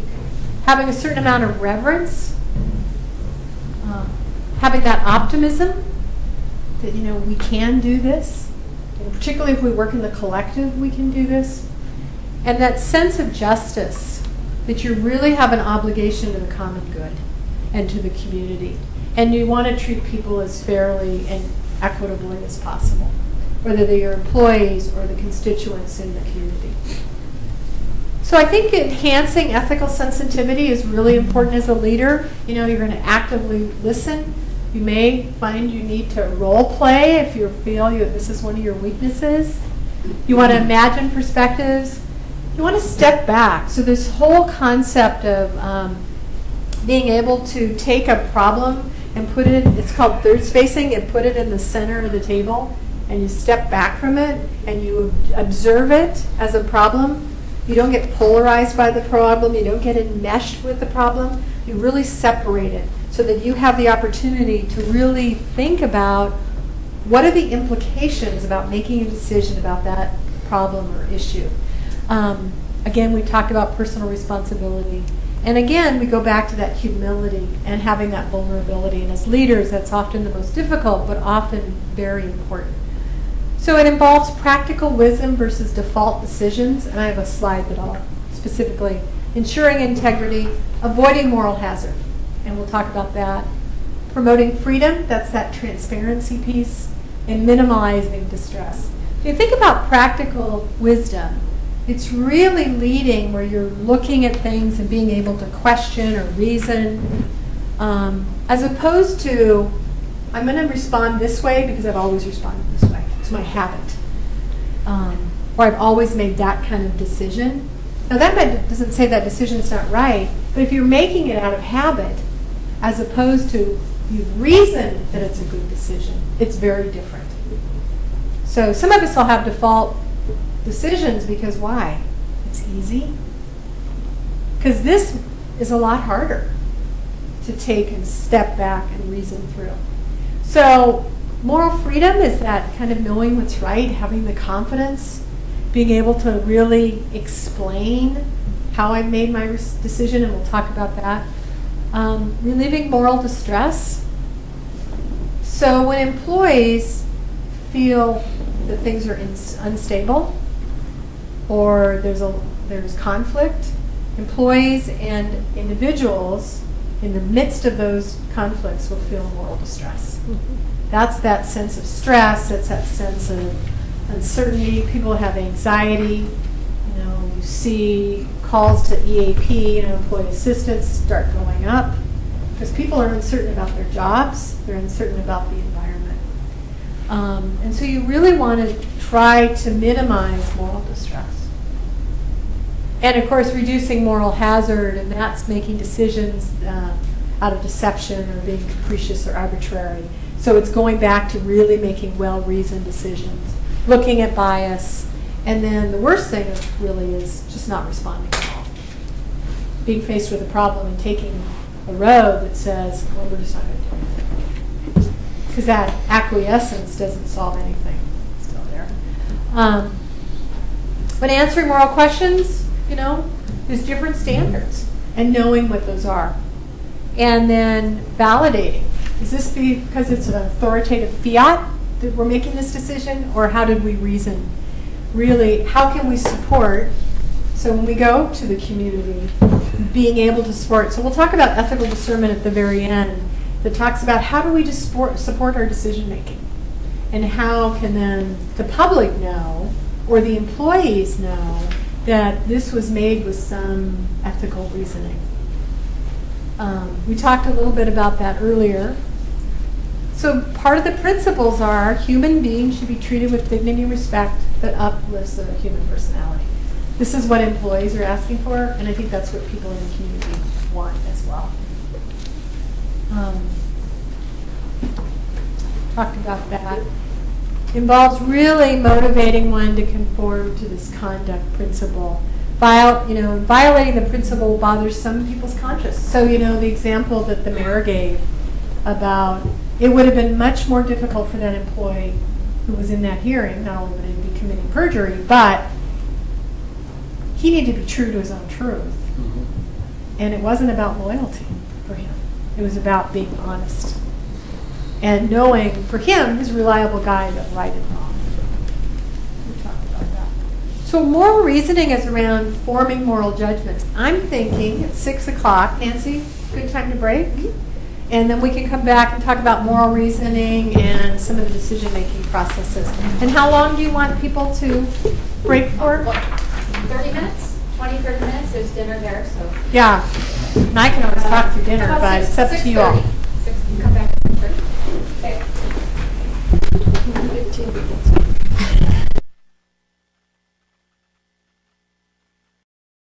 Am I good? I think I'm good. Can you hear me okay? So the last part of this is really to talk about kind of how do we make moral judgments, um, to give you some tools around decision making, how to avoid rationalization of our decisions, and then look at an ethical framework, what's called ethical discernment, which actually comes from the clinical model, but it has practical application for organizational um, organizations. I'm sorry, for ethical organizations. So moral reasoning really has to do with forming some moral judgments, making moral assessments around worth. I mean, what is the value that we're doing through this decision? And um, so anytime we make decisions, so we talked about the ethical dilemmas, really talks about how do we apply certain standards and principles in making those decisions. But it shouldn't also contradict one's belief. So if you think back to maybe one of your recent um, council meetings or commissioner meetings where you had to make a really difficult decision, what might what might be an example of that? Anybody have one? They probably happen almost every week or every time you meet. So Well, I could Betty? just come up with one real quick. Okay. Um, the transportation, um, plan that we amended, um, it was pretty hard because, you know, we had people before us that didn't live in the city and we were still incorporating their street into our plan. okay. But, you know, so I, I, you know, I had to kind of weigh what was better for the city and, you know, I don't know if that helps, but. Okay. We had one that ultimately took us into an executive session to discuss it, but one where an individual was financially harmed by a decision that we made. Uh, She would probably not be the only one, and it was very difficult not to be empathetic to her position. But the ramifications of trying to correct her situation, but it left us open to probably a series of, Mhm. of, of- of other claims that would have been made on us. Mm-hmm. Right, so that's a great example, you're trying to balance Yeah. one Would have been individual unfair need. to others. Right, unfair to mm-hmm. others, so treating her one way and mm-hmm. would have been disparate to others. Well, I, I don't know if that was the concern. It probably wouldn't have been despairing, but we would have probably hit it with all kinds of financial claims of the same nature that we would have I had see. to uphold and have been perhaps somewhat costly and complicated for the Got it. to deal with. So it was really making the decision not to act for the, because of the potential for other Yes. possible Claims, consequences. yeah. Possible claims, so. So when we think about some of those decisions, and we'll talk about the process that you went through to make them. So those are two really good examples, you know, that we want to pull out. So, so how do you make moral judgments or decisions that are defensible? You know, that they can be supported by a moral principle, um, as opposed to just being decided because that was my opinion, that's the way I was feeling. You know, how do you make an objective um, judgment, if you will, and not judging simply that it's wrong, but that it's wrong for a reason that you've put together, and there's something about that decision would be the wrong decision, and that you've had that forethought. And we'll talk a little bit about having dialogue versus just discussing, because there are differences in those. So, so oftentimes you have to translate values into conduct. So we talked about each of you brings personal values and perspectives. Um, so some of those critical elements is that you seek no favors. So as public officials, you know, you have to be free from the per- even the perception of having a conflict of interest, um, much less ha- much less having a conflict of interest. You have integrity, and you build that. You build trust through transparency and honesty. Um, you treat all equitably. So I think that's, you know, Mayor, was an example is, you know, we weren't going to treat that one. It was best for the community as a whole that we act in a certain way to treat all the same way. And you base it on what was the ramifications for the entire community Yeah. and your responsibility. Um, you build communities to demonstrate social responsibility and the commitment to public trust. So Eric, you brought up the social responsibility there at the very beginning. But you really have to ensure that strong ethical culture. So we're going to go into really some tools around decision making and then this discernment process. So how do you apply the ethics of those into the decision making process? So there's um, this part actually looks at these decision guides and a three-part test. When I do this uh, example in the classroom, I actually have the students uh, have a case where someone's looking for a job promotion and they've been uh, advised by a career counselor to fluff up, I'll use that term, fluff up their um, resume to present their skills as a little different, um, and then we run them through that test. So we could actually apply each of these to an, to an issue that actually happened within Oregon City or a hypothetical situation. So I don't know if you have a situation where you faced an ethical dilemma, where you had to make a decision that didn't involve executive session, or we'll have to stop recording. No, just kidding. So is there one that someone can come up with? That was difficult? Jim, you have one? An ethical decision, period? Or just an ethical dilemma that was faced that we can put through, where there was possibly a, a, a, a right and a wrong? So in this fluffing example, is it wrong? A lot of people will put on their resume what sounds good. They're not really lying, they're making themselves a little better. A lot of people do that, right? So, I, I, I did not have one like that. I had one that I thought of with your justice versus mercy thing one time. Um, Okay. A, uh, a woman who was, uh, there was a horrible crime took place in her family uh, that involved, it was just the worst kind of thing that could happen. And uh, the offender who lived in her home left the house. And, she, and they come in to report this crime. And uh, basically, I, the guy ends up, the offender ends up killing himself. Horrible, horrible family thing. Fast forward a couple months, and some people are trying to help her out through a bunch of financial problems.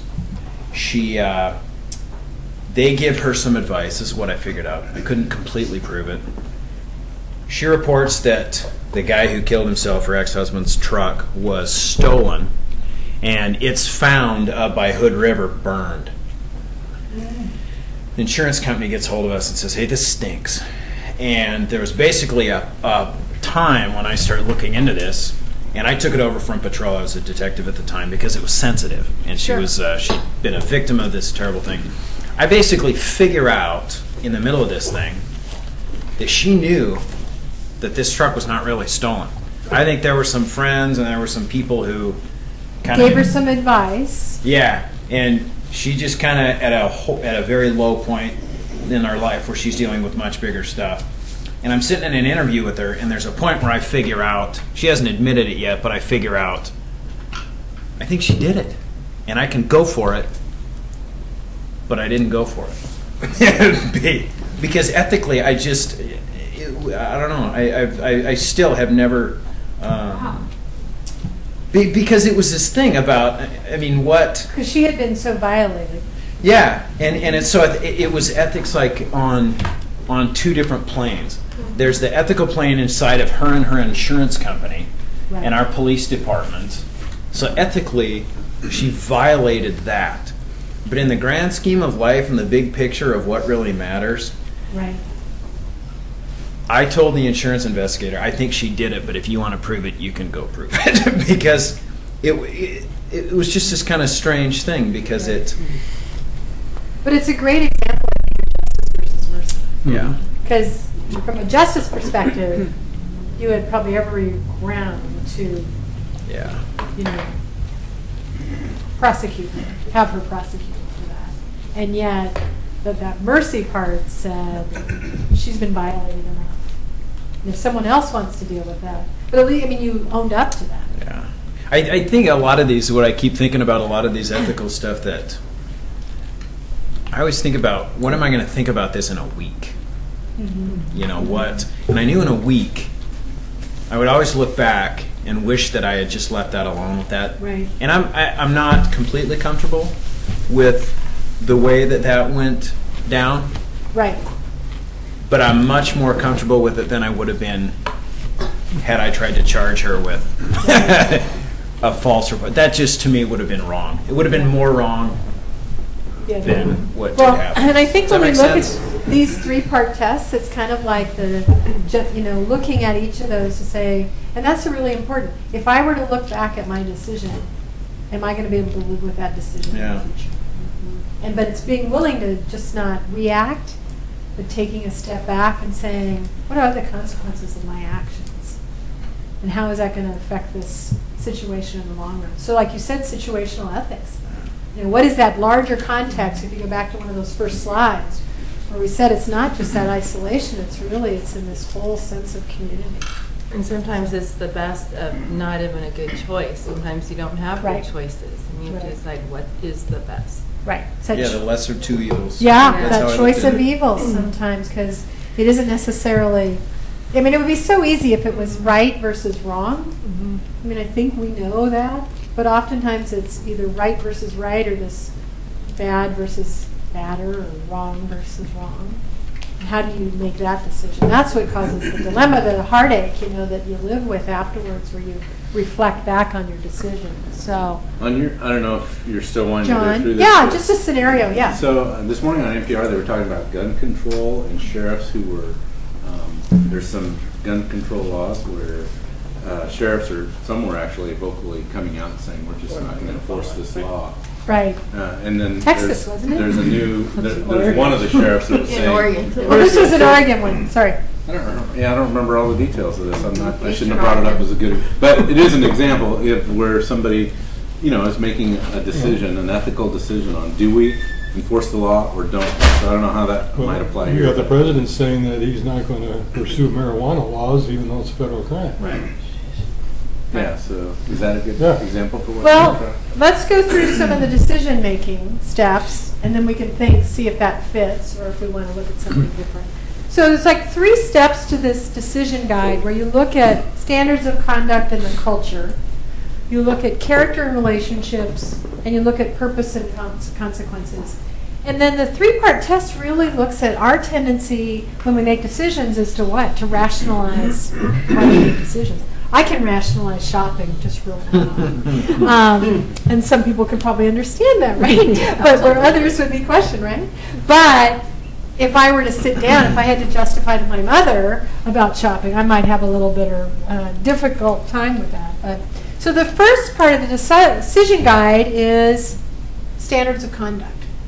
So when you look at the issues, so I mentioned this young woman who needed a new job.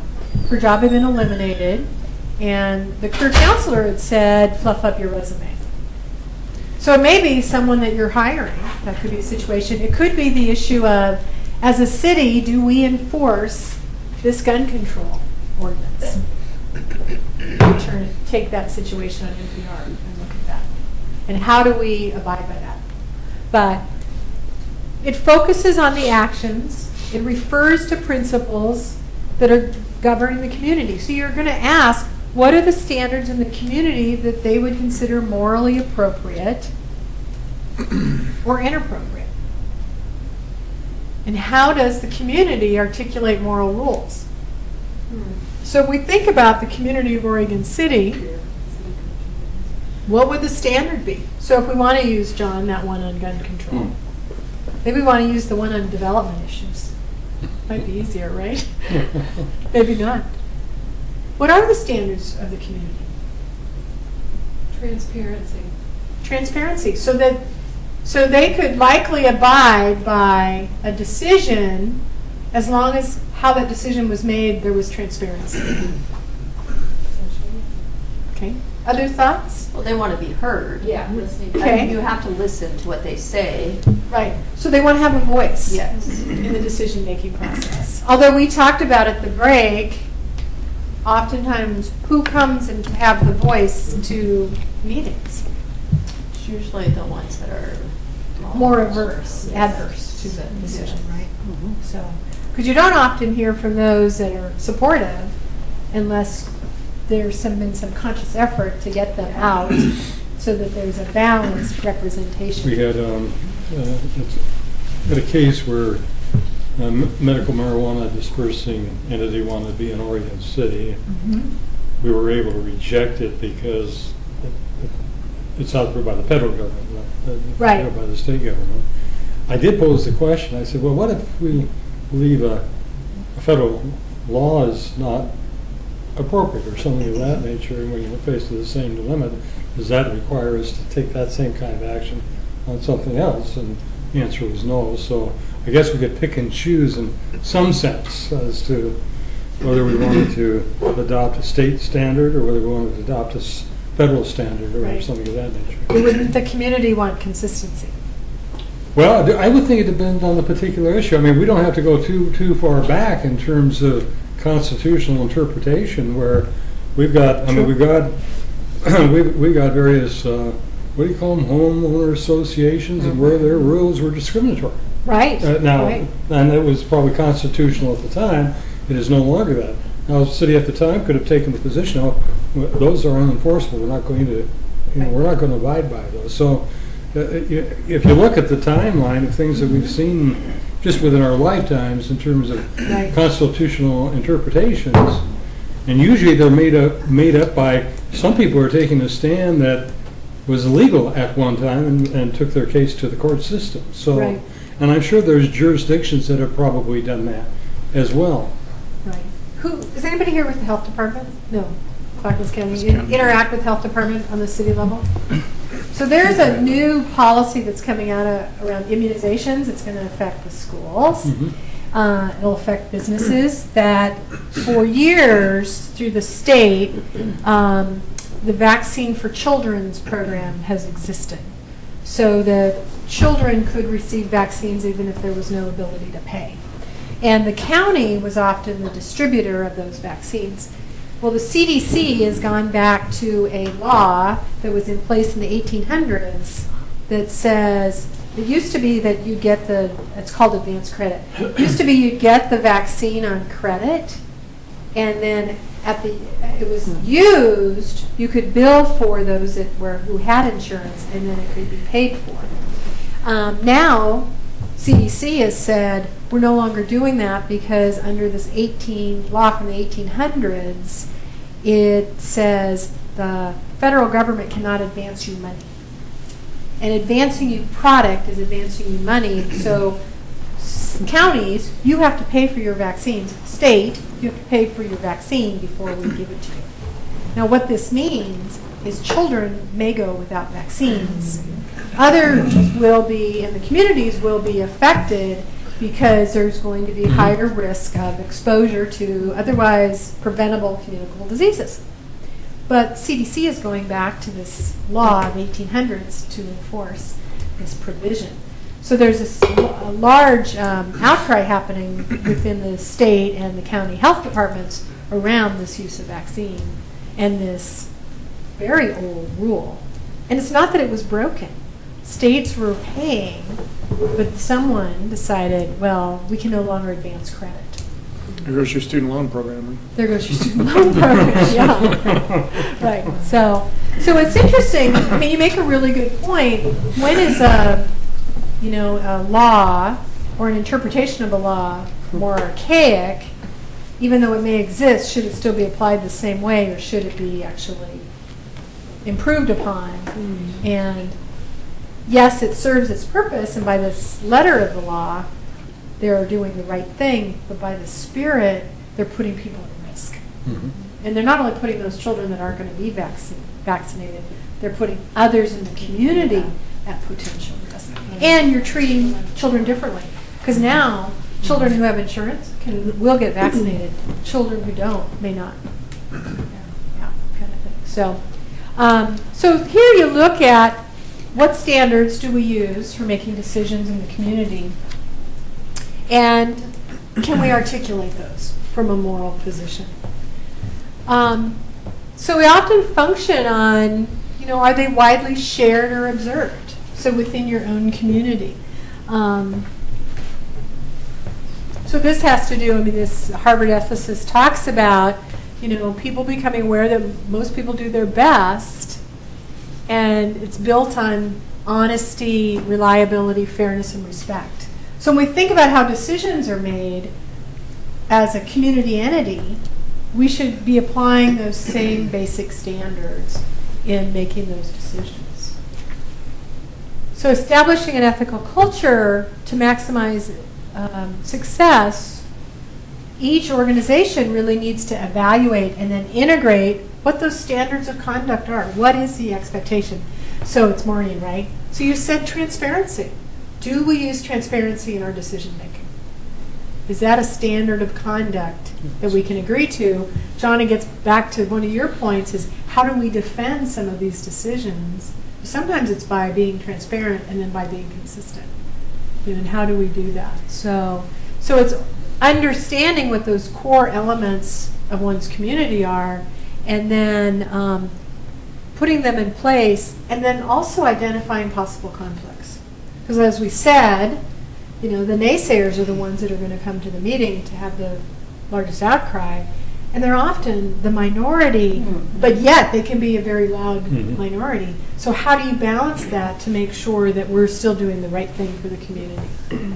Um, so these are the common ethical principles that, and I didn't spend a lot of time tonight do, going through them, but I wanted to provide it to you because we talk about beneficence. How do we bring benefit through our actions?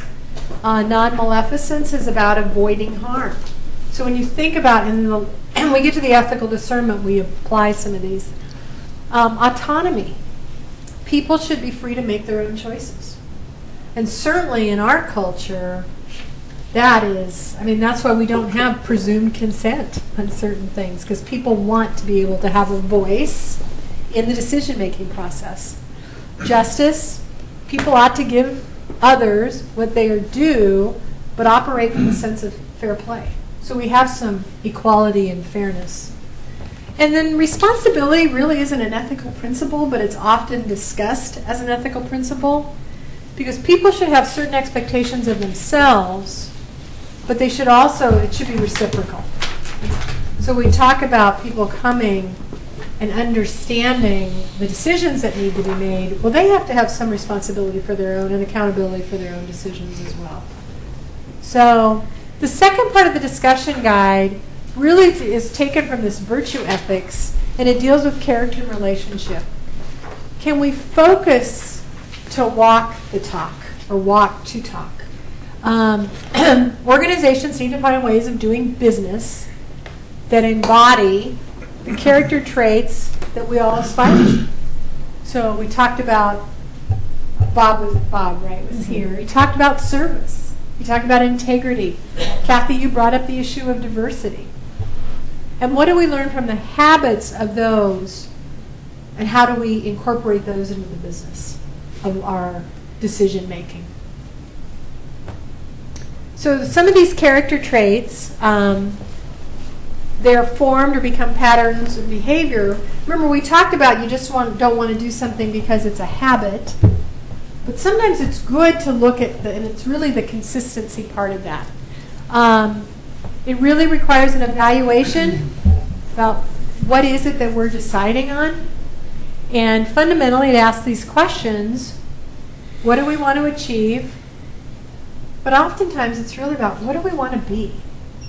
What is it about the decision that is going to benefit our community? So character is important in developing and sustaining relationships. So we talked, we went back to the very, very first slide. We talked about ethics is about being in a right relationship. It's how we treat each other with mutual respect. It's, you know, it takes into consideration issues around being dysfunctional or functional, being constructive or critical, being open, being respectful. Mean, constructive and critical are two ends of the spectrum, like dysfunctional and, and functional are.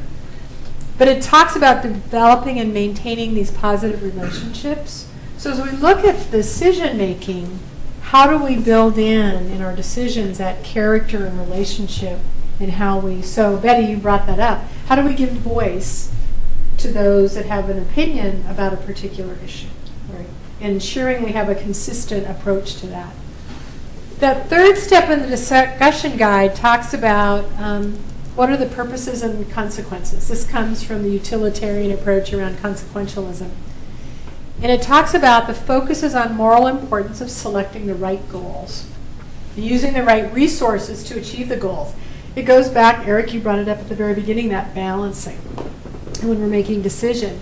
Um, we want to make sure we're delivering value, but it has to look at the community for the common good and not just a single individual or those single individuals who have the loudest voice that may not balance for the whole community. Doug, did you want to say something? No. Oh, okay. Um, so you want to make sure you're delivering value to the stakeholders, either your employees or those in the community. And you want to identify relevant purposes. So some of this is analyzing where you are as an individual, but also understanding where the community's at and what the community expectations are. You know, Kathy? I've heard a lot of words here today about transparency, and I think that's something that we need to analyze in what it means to us, but what it means to the community too. Yeah. I think that's a great point. it. Mhm. Right. And we haven't defined it, but that's a really good point. So, you know, we talked about earlier in the um, evening around the perception. So how we act and how we behave means something to us, but oftentimes it's going to be judged by those that are looking at us. Mhm. So that's a great point. How we define transparency as a group, and use that in a collective, could be very different than how the community defines transparency. You know, what is their expectation of how standards and how characteristics are are um, delivered or presented? So that's a great point. So oftentimes when we make decisions, we tend to rationalize how we made those decisions. Um, so you oftentimes will find yourself convincing yourself that a decision was fair and defensible. excuse me, fair and defensible when it actually only serves your own interests or offers an easy way out. So this is like a three-part test. It's the publicity, the reversibility, and generalizability that you can apply, and it doesn't make a difference whether it's this young woman who wanted to fluff up her resume and was trying to justify that that was okay, um, or if you're making a major decision about what should we um, put in place the gun ordinance, or should we allow a medical marijuana location, and we make the decision not to. So how do we, in essence, justify that and demonstrate that we've considered that? So the publicity test says you should scrutinize your decision by asking the tough question. Could you defend it if your choice was made public, when all of your choices are made public? So I go back to the media test, what I said I called the M&M test, mom in the media. this allows you to consider if your reasoning is sound and justified or biased and self-serving. But if you had to clearly say, could I defend this if this were on the front page of Willamette Week or the Oregonian? Or if I was sitting across the desk or table, my mom's gone, her, God rest her soul. But if I had to sit across from my mother, my dad would be a piece of cake. But my mom, you know, if I had to justify to my mother that this is why I did that, We always, we always went to our mom and not our dad. Isn't that true? uh, my brothers would tell you I had my dad wrapped around my finger. I don't know if that's true, but, um, but yeah, but that's a whole other. But um, so it's really stopping and thinking. Okay, when you're making a decision, can we pass a publicity test? Yeah. Jim. Yeah, this is making me think of some. I was at a Chiefs meeting here this week, and the Chiefs as a group were talking about there are legislators who are talking about preemptively coming up with a marijuana law. Why put it in the hands of a referendum? Why don't we just get ahead of the ball, create our own that we we know it's coming, so we can kind of manage it. Right. Should we do that? And so the Chiefs as a group were saying, do we, as the OACP, the Oregon Association of Chiefs of Police, do we support it? Do we get involved? What do we do? The conversations were kind of limited into two groups. There was a group who was saying, it is coming, we'll probably in a better, be in a better position to at least make it as palatable and as good as we can by getting ahead of it. And then there was the other faction was concerned about publicly what are people going to think of this? What are victims advocates groups going to think? What are the uh, Right. uh, all of the partners that we've had for years and years in uh, drug abuse, drug court, all these things, and I don't know. Just thinking about this, they're kind of both right. You know, I, it, you could say it's an ethical decision to do the best you can to, if you can't beat them, join them and try and control what you can. But at the same time, How, know. will- It's just how kind will that be perceived by others? Yeah. Who may have different values or different. And, it, and to them, it's not really a popularity contest that, Yeah. that that they're happy with the police. It's it really means Right. something to their core just because of the group they associate with. So Yeah, yeah. Because they're so, I mean, their values of that group are so focused. It's a good example. The next one, the reversibility test, allows you to make kind of that fair and defensible decision by putting yourself in the position of the person that would potentially be harmed by the decision. So as we said earlier, every decision, right, isn't going to please everybody. Someone will benefit and someone will typically be harmed to a certain extent. You want to mitigate that harm as much as possible, but you know it's still going to happen. Um, would you agree with or respect the reasons for the decision? So if you, you know, kind of were in that position where you reversed, if you were the one asking for this and didn't do it, could you live with that decision? So you kind of reverse roles is what this is asking you to do. And would the one who was adversely affected endorse the reasons of the decision, not whether they would disagree or agree? Because they're going to disagree, right?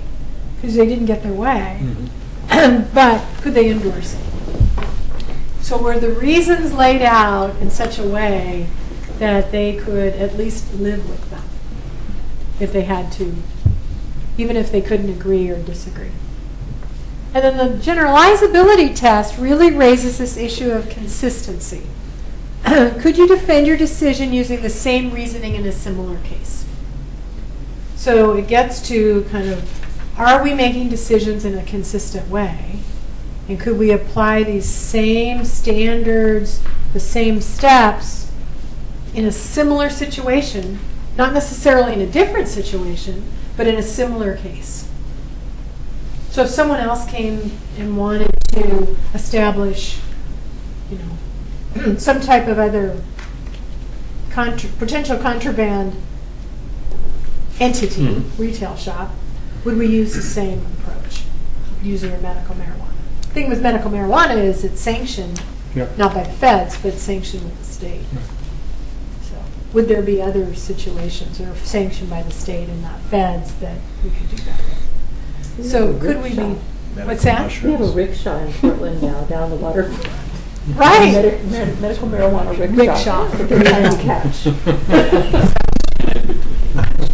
So, but if, so if in applying this test, you realize you're creating a new standard, it really casts doubt on the fact that, gosh, have we really based this decision? If we've just made a decision that creates a whole new standard, is, ha- was it the right original decision? So you used the case earlier about making a decision not to accept a claim from an individual.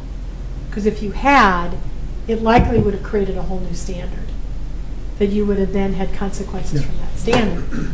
But by holding the line, if you will, you, you held to the original standard, which was not to accept that, and you didn't create a new standard. See the difference? So, Wasn't easy. it wasn't easy, and none of this is. And I think that's the challenge with ethics. Gosh, if these were easy decisions, we wouldn't be spending three hours tonight doing this, right? Um, so when you think about good decisions, did I use the decision guides to help facilitate the case and look at a moral decision? Did I think through and address what the ethical challenges were? Did I gather the right information? So in ethical discernment, we're going to talk about that a little bit more. Did I check the facts and did I include the right people? So was it a well-balanced decision or did I only take information from one side and then move forward with the decision? That's right. Um, did I use a fair process? Did I set aside my biases? Um, is my decision consistent with the law and or the express values of the community? And if I applied that three-part test, publicity, reversibility, and generalizability, what would the results be? So this would be one framework for decision making that you could use in making a good decision. Ethical discernments provide another tool for making decisions. So this is, a, I always appreciate this picture because it shows this confluence of kind of two rivers coming together. And oftentimes in ethical discernments, you have the two sides where you have to bring things together. Um, so you need to have in- integrity in the boardroom or in the commissioner room. You have to have some type of model, and then you have to act on that. So this is uh, healthcare, because some of this work was actually taken from the healthcare setting in development of ethical discernment. Um, Providence and PeaceHealth, two of the larger Catholic health organizations in the community, uh, really did a lot of this preliminary development work. So Father Tuohey, some of you may know, was really instrumental in the development of this. And of course, Providence it's now Providence Willamette Falls. I still want to call it Willie Falls. It was my first place I ever nursed, so um, in the ICU there. So I'm I immediately go back to its original name. But so it talks about we talked about some of these things earlier. You talk about practical wisdom versus default decisions. We talked about that. Um, ensuring integrity and reducing those moral hazards because we've made good decisions. And having that freedom because we know we've made the right decision. So you decrease the moral distress. So being ethical and making decisions, again, goes back to that integrity and honesty piece. It talks about, and this is this uh, book by Laura Nash, Good Intentions Aside, A Manager's Guide to Resolving Ethical Problems. It's a great resource. Um, but she talks about ethics at the heart really depends on having honesty, fairness, dependability, and accountability. So those are concepts we talked about tonight. Um, so this on the left side is around, again, it was based on some health care, where you do consultations because you're doing a single individual that you're typically trying to resolve a single at the bedside type of discussion. Whereas discernment really looks at a broader perspective, really um, considering the whole picture, considering the ability to understand the elements of the issue and not having just opinion, but considering what the insight is. And we'll talk a little bit about this. This is the typical ethical decision model when we use in the clinical setting. So I did a clinical consult. Um, just I was through actually through our church was called in on a consult for a young man who there was a decision whether or not we should. The family was really wrestling with do we withdraw life sustaining treatment for him. And um, so the family asked me to come over and help them sort through the discussion. And I used this model where we looked at what are the elements for this young man around what's going to be beneficial for him, what are his preferences, what's his quality of life, and what are the other issues around um, how will he not be harmed. And that's the basis for the clinical model, and it also applies when we apply it then in the organizational sense, because we want to look at how does this bring benefit, what's the integrity of this, and I'll show you that. So the foundational question on the clinical side, and again, the organizational side is built from this, because organizational ethics in and of itself is only, it's very young, if you will, in kind of a theory around for organizations. Um, but it looks at, again, the clinical integrity, the beneficence, the autonomy, and the justice component. When you think about the organization, this is the model. And if we had a specific problem, we could go through that. So the upper left-hand side, you think about this is the ethical decision. So I'll give you one that we actually dealt with at one of the uh, health systems I um, worked with previously. They were looking at subcontracting out all the gardening work at the facilities to a third party. And they were looking at, it meant layoffs, and it meant outsourcing that business. So you probably may deal with some of that same type of outsourcing issue. We use this ethical discernment model in making the decision. The decision ultimately, even though it would save the facility money, was not to do it. Because it was contrary to the mission and the tradition of the organization. Because it meant people would lose jobs, families would be negatively infected, and then they made the decision there had to be another way to save money. And so here in the left-hand corner, you look at, well, what is the mission of the organization? Um, what's the common good? So what does that mean from the community? And I have another slide to look at. Who are the stakeholders? Who needs to be involved? And what are those traditions? What are the standards within um, the organization? So in making the decision, is it the honest representation of the mission? That's why, you know, we talked about Jim, the mission is up here, right? To build a sustainable, healthy community that promotes safety, economic opportunity, livability, environment, and uniqueness.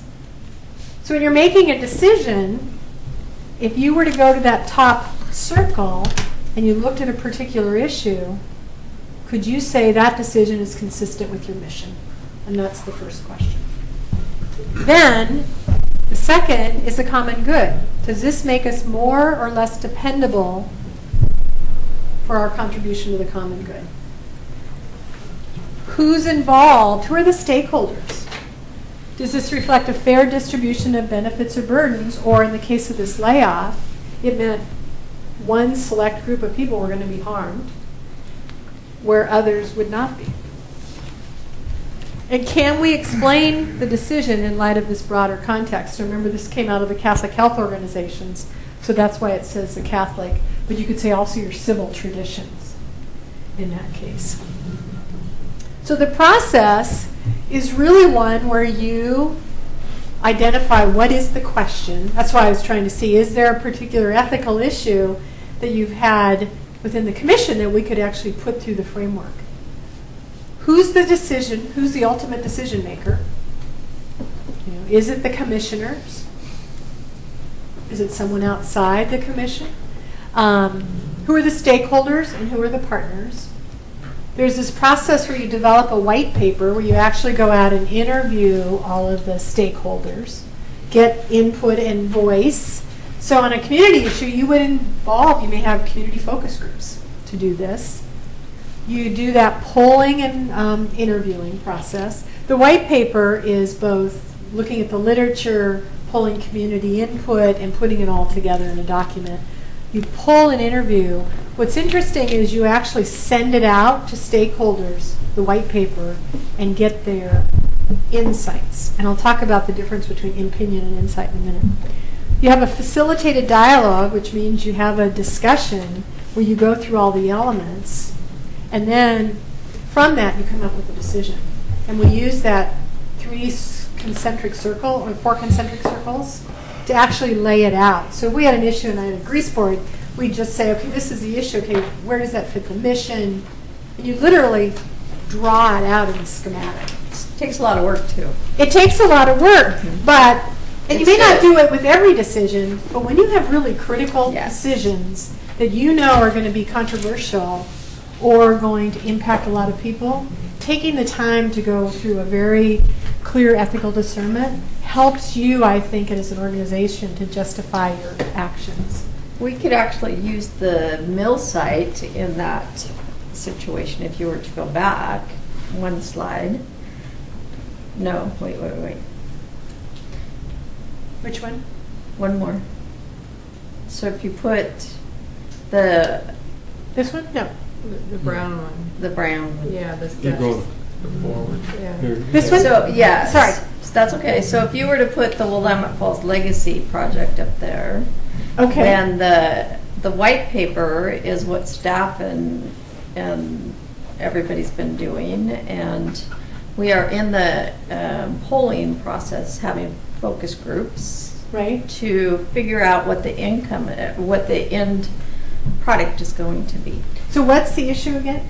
Well, we have the mill site. Oh, right, right. So we're looking Yes. at, what are we gonna do with that Yeah. site?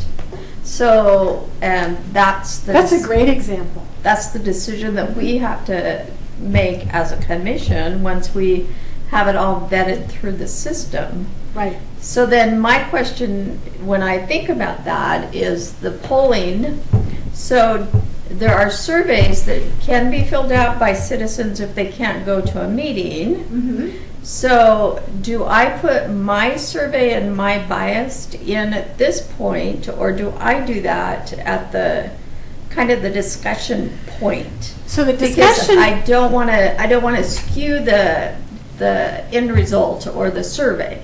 Right. By inputting myself right now. So during the facilitated discussion, it's not about opinion. It's about insight. Okay.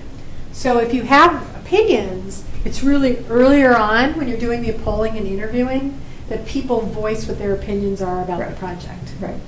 So that when you get down to the decision-making part, with the group coming together, you're able to look at all the feedback. But do I fill out the survey and put my bias in at this, at the polling interviewing? Or is that? Because you're a stakeholder and a member of the community? Yeah, well, and I'm going to be helping with the final decision. Right. So then the question is, do you have to recuse yourself? Right. Because of your elected position. And you may need to, because you're an ultimate decision maker. Yeah, so I don't know. I just thought thought that was a good one. No, that might be an individual decision. I don't see the, I don't see the conflict. Right. I mean- Because you are still a community member. I'm member. still a community member. Yeah. I, I'm not going to be identifying myself on the survey, I presume. Right. And, uh, Right.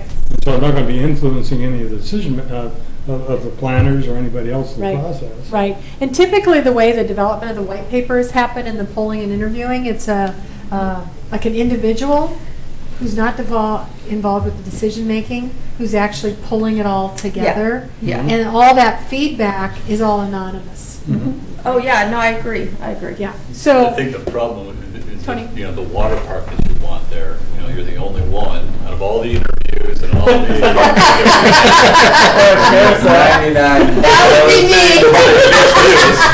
And then you get the decision, you still want your water park. I still want the water park. Yeah, That's that- right. That, that might be the issue, but I think you would illustrate I'm still gonna push for it. It might, you'd illustrate my point that if an individual came up with the unique idea that all of a sudden everybody thought it was a good one and never got brought up in the Yeah. first place because of, Right. of that kind Yeah. of decision. No, That's I- why I say you should be doing it. I agree. I just wanted to go through the process. Yeah, and no, Be no. the devil's advocate, sort of, you no, know? but that's a great example of really a potentially controversial Yeah. issue.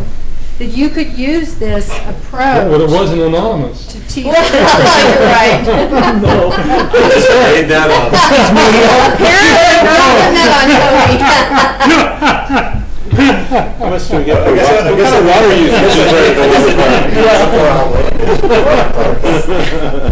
use So, um, when we talk about that facilitated dialogue, um, I mentioned this earlier, it's about having a dialogue and not a discussion. And I think differentiating those two things is really helpful because a dialogue starts with listening as opposed to discussion often starts with speaking. Um, it's about speaking with on the dialogue as opposed to speaking to. It focuses on insights and not opinions or differences. Um, oftentimes, discussions are what? They're adversarial. People have opinions, mm-hmm. which leads to being polarized, which leads to the adversarialness. And versus being collaborative, when you're having a dialogue with someone, it's about hopefully looking for a solution and being more collaborative generating ideas versus conflicts, encouraging reflection versus just kind of off the hip making a quick decision or quick thinking. And it encourages uh, emergence. So, so something will emerge from the dialogue as opposed to, again, being polarized or locked in. So just that discussion. So this is um, picture is of Prudence or Prudential, who you know is both looking back. So you'll see she has two faces. She's looking back, but she's also looking forward. Here she has a flute to talk about how do we have harmony, sense of collaboration. I thought it was an eyeglass. That's what I. Well, she has an eyeglass on one side, but she has a flute on the other. Because she has an eyeglass, because I see, I see a mirror and I see a, see a telescope. Oh, right. Sometimes, that is a tel- that is a telescope about forward I don't thinking. inhale. Sometimes she'll have a flute, which talks about harmony. Very good, you were paying attention. And then the little serpent talks about shrewdness. How do we make, not shrewdness from an evil perspective, but shrewdness from a positive? As opposed to that sense of moral distress where you're doing nothing, and unfortunately it's cut off in this image, but where you're juggling everything. And you can't have that sense of harmony. And, uh, yeah. came out of my coloring book. It's got numbers. Colored by That's compliments of father. This is compliments of father too, and the footnotes are on my laptop. That's my kind. So as I mentioned, So as I only gonna have to have mentioned, it's about, not about opinions, but it's about insights. So when you see this, what do you see? Stars. Dipper. I see a big dipper. Yeah. A Big Dipper. Or, if I get it forward. Do you see oh. that? So our opinion was, that's what we saw, but maybe our insight is that there's something much richer there. Again, or, as was said, so uh, to me, it's a great visual about how one can have an opinion, but there could be something much rich, richer when you look at from an insight. So in building ethical or- organizations, and we're actually down to the last slides, and we can just open for general comments, but you want to ensure organizational ethical fitness. So you want to embrace the ethical conduct. You want to really talk about, we talked about transparency. Kathy, you raised such a great issue about, as did Maureen, about transparency, but how is that defined? And what does that mean for us? And what does that mean for the community? Um, you want to be committed to transparency and trust. You want to integrate the values. So we talked about some of the values of respect, of having voice. Um, you want to facilitate a climate of accountability. You want to recognize diversity. You have diversity. I mean, we talked about that just a few minutes ago. You have certain people that are going to have certain opinions because those that's where they're coming from, or that's what their culture has them. Um, and you want to respect the contributions of that diversity. And as leaders, you want to lead by example. You want to be ethical leaders. Um, you want to create an ethical environment, which means you have a zero tolerance for destructive behaviors. So I think there's a sense that not everybody wants to be in a functional environment. And how do you address those issues? You want to have integrity, which is ethical soundness and wholeness and that consistency. You want to have leaderships that is committed to the values of the organization. Um, you want to be concerned for how we make decisions and how do we base those decisions. Structurally reinforced, but you have also that social responsibility and accountability to the community. So I think there's some important tools. You need to have shared values. And so you have your mission and your vision statement, but maybe it's in exploring, well, what are the values that are behind that? Um, you want to have standard, standard of conduct and code of ethics within the organization, which I know we do. I mean, I was out at the Oregon City website, and I know you've got a whole section on ethics. Um, not sure how often people access that. You have continuous ethical improvement, which means you're always willing to look at how we make our decisions. Are there new ways to do it? And you have leadership, again, that's willing to role model those expectations for employees. So then it's really putting ethical discernment into action. How do you take all these elements and make them possible? I mean, I was saying to Jim at the break, what an incredible contribution to employees, the managers in the front line, to actually, and I guess Dave, you know, as city manager, you were very involved in this as well, to commit the time and the money for them to all go through an ethical training. And see, each of their trainings is different than what you had tonight. So the managers are going to get through, uh, go through an ethical training that's really focused more on what does it mean to manage in an ethical environment. Some of this will be repeated, but others it's new. And the front line is really talks about what does it mean to be an employee in an organizational uh, environment that's ethically based. So, so part of it is taking that. That mill site is a great example of one you could do a discernment on. You know, I mean, we kind of started on that. So, just general questions. I know we have a few Waterworks minutes. Comments. You back, Carol? Um, I kind of have maybe an insight. Uh, Kathy was talking about transparency, and we hear we hear that a lot. And and what does it mean? And and looking through the slides, especially the two slides, the reversibility test and the the generalizability test, Right. those two tests. That's a terrible word to say. isn't it? It is horrible. but um, to me, transparency means nothing hidden. So consistency, and that was brought up in the reversibility test. Mhm. And then explain the reasons behind the decisions. Really communicate that Right. so people understand what went into the decision making process and have them part of it too, if Right. possible. Right. Participation. Um, and then don't change rules, you know, midstream. And integrity, do what you say, you know, you're, Right. you're going to. And and some, you know, some people might throw transparency out when we make a decision they don't agree with. Right. But if we know that we're putting in the effort to communicate and get that message across, and that we're showing the reasons and really making a good faith effort to explain Right. ourselves, I think to me that's transparency. We're not leaving anything hidden. Right. Yeah, so you're, you're opening, you're being open to that. Now, you're always going to have some people that will disagree. Right. And that just comes with it, but that doesn't mean that you haven't made that good faith effort Mm-hmm. and you're doing it in a consistent way. And that's part of having an ethically um, sound organization. Is that what you're thinking? Does that Well, make I, sense? well, well, I'm thinking there's a lot of different versions of Of transparency. Oh, Yeah, how people define Yeah, transparency. Right. It's a word that you throw out and will Yeah. catch us somewhere. And John, I don't mean to put you on the spot, but you said it at the break in terms of how people see government. They just don't trust government. Mm-hmm. So how do you break through and help them develop that trust? And so much of that comes with what? Integrity and the ability to be truthful. But does The it mean challenge, the challenge to transparency, though, is, I mean, people don't really want to take the time to um, figure out what's going on at their local government level.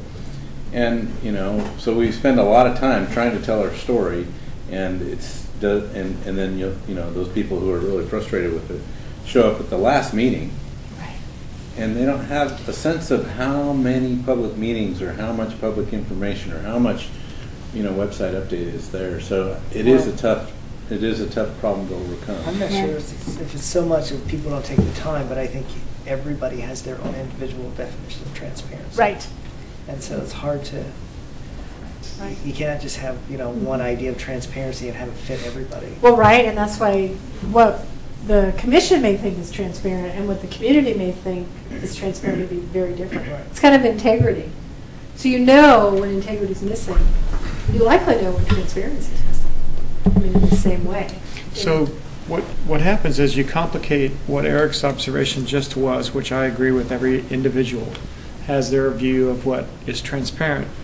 And then you overlay that with the national statistics, which consistently show that the least trusted body of government is the federal government, followed by state government, and that local government is actually trusted uh, slightly above 50%, which is more than double the trust folks have, for example, for Congress.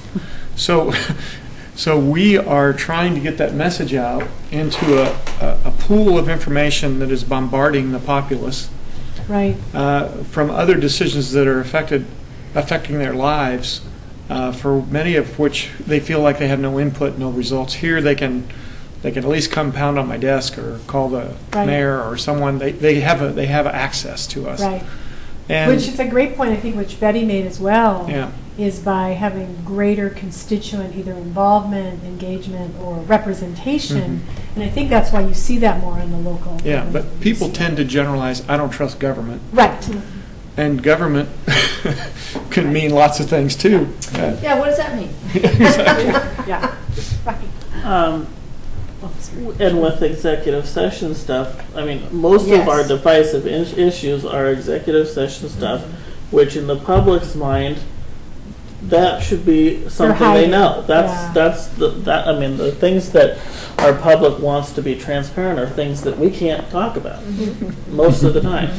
Right. And so Yeah, that's, that's an that's the issue. real problem. That, Yeah. that, that And helping really hasn't- them understand, because what they perceive is you're just making decisions Right. behind closed doors. Yeah. Right. Where you're really held to the fact that you have Right. to be behind closed doors on certain issues. Mayor? even in our voting process, and this is not this commission, but a previous commission, we had a, there was a vote taken, there was four in favor, one against, and the person that voted against it, never in the discussion said the reason he was against it, and then the mayor asked him, why, why was the negative vote? He says, well, I'm not ob- obligated to tell you that. And so it's, it's important when we're making decisions, even if we're abstaining, to, to put the argument ahead of, uh, ahead of the game so that everybody understands it. For one thing, if you really want to sway people your direction, you want to make sure they know your reasons for the, Right. for the argument anyway, but. Right. Well, it's Uh, part of the ground rules of collaboration. Yeah. Isn't it, that we all be willing to own up to what our, Right. have the moral courage to own up to why we're making a decision, you know, what is influencing that, as opposed to saying, well, I don't have to tell you. That's good, great acquiescence. So, No offense to the person that did that, but.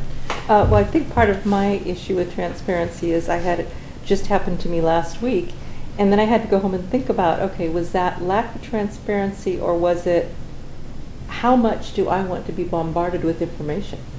Ah, Good point. Right. You know, am, am I going to hold these people responsible for telling me everything that goes on in every office all day, Yeah. all week? Right, right.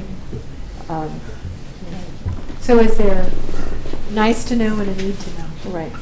And sometimes it's, I need to know this, but and is that sufficient? And Yeah. part of that is just the understanding, the expectation you develop within your own group. Mhm. About what i what are those need to know pieces? And with the community, some things they need to know. Some people will want to know what? Everything. And if you told some people everything, they'd still say you were Still not hiding enough. something. Exactly. 'Cause We'll say you forgot to remind me. That's right. Oh, my You God. told me that once, but I. didn't Ultimately, you can't make everybody happy all the No, time. no.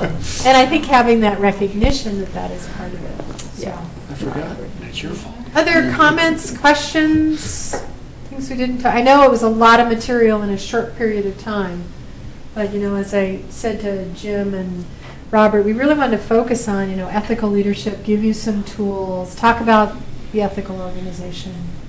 Other comments, questions before we wrap up? I think it was just interesting when you talk about your, your morals and your ethics as an individual and trying, and that they should be in the workplace. But you do not, for, I think for a lot of, you know, for me, you know, there, you, we do have this, this separation of power though. You have, Right. you have a decision-making body, and you have a staff that implements.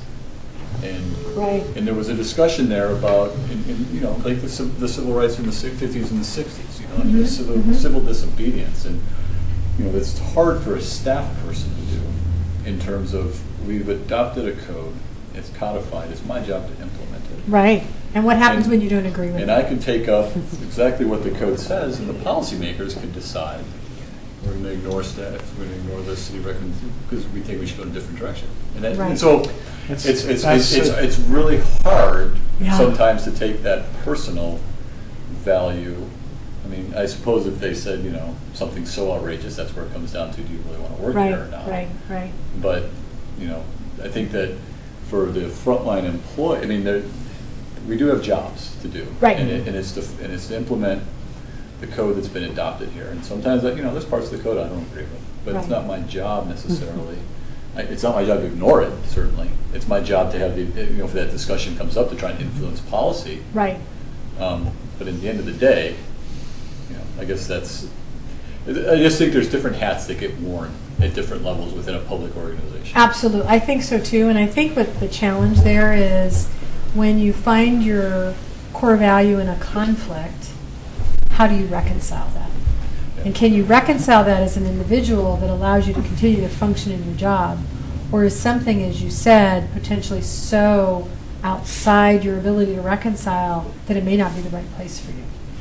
You know, that's inherent even, I know you're an attorney, that's another conflict. I actually personally went through this because uh, I spent almost 10 years of my life as a police officer and a homicide detective in a big city. Then I became a lawyer, and the court said, "We'd like you to be a court-appointed uh, defense attorney for some of these indigent uh, homicide suspects." And I said, "You know what? I don't want to do that. I'll do anything else." But I spent a decade putting these guys away, and I don't really want to use the skills I have now to help them get out. Right. And that was sort of a. Now I know you do have to have a commitment to the system, and so I played a role. And what happened Right. was, I took one of these things. I had the officer on the stand. I knew everything that was missing from the report instinctively, and it was scary how how I took the whole thing apart and got my guy off Right. It was almost scary how good I was at doing that. And I thought, I can't, I can't do this. But eh, Morally, I cannot do this. You know, I felt kind of bad after it was over. And of course, the the public defender's office was trying to hire me the next day, and I was a big rock star to them. But to me, I was I had just sort of soiled myself a little bit. Well, right, because your instinctive core values Yeah, I thought, man, I viol- just, were violated. I just shared the whole playbook, you know. You know, and it was it was really a dis- it was an unfair advantage almost I felt that I had in asking some of these guys the questions who clearly had less training and experience than I had in homicide investigation. Right, yeah. Because you knew all the pieces that were missing. So I said, I'll do anything except that and family law. So I had to, I had to make a decision. Because you had to be true to your own Yeah. values at that point, and you That knew was- that, boy, I can do this job great, but could I look at myself in the mirror the next morning? Yep. Police officer, lawyer. I kind, I'm trying to. He's not a out- nurse lawyer, Yeah, I was though, trying right? to figure out why I ever voted to hire him in the first place. Because I'm on your side. They're great when they're on your side. Because you knew he had a good start. That was good. That was a good response. Trust is Yeah, yeah. You still don't have that marijuana store. Yeah, so, that's a great example, though, of, you know, having your core values in such conflict where you Yeah. just can't reconcile them. Yeah. And, you know, so when I do this exercise with students, I, in the, in the personal ethics course, I actually ask them, identify your core values, but talk about a conflict and how you would reconcile that.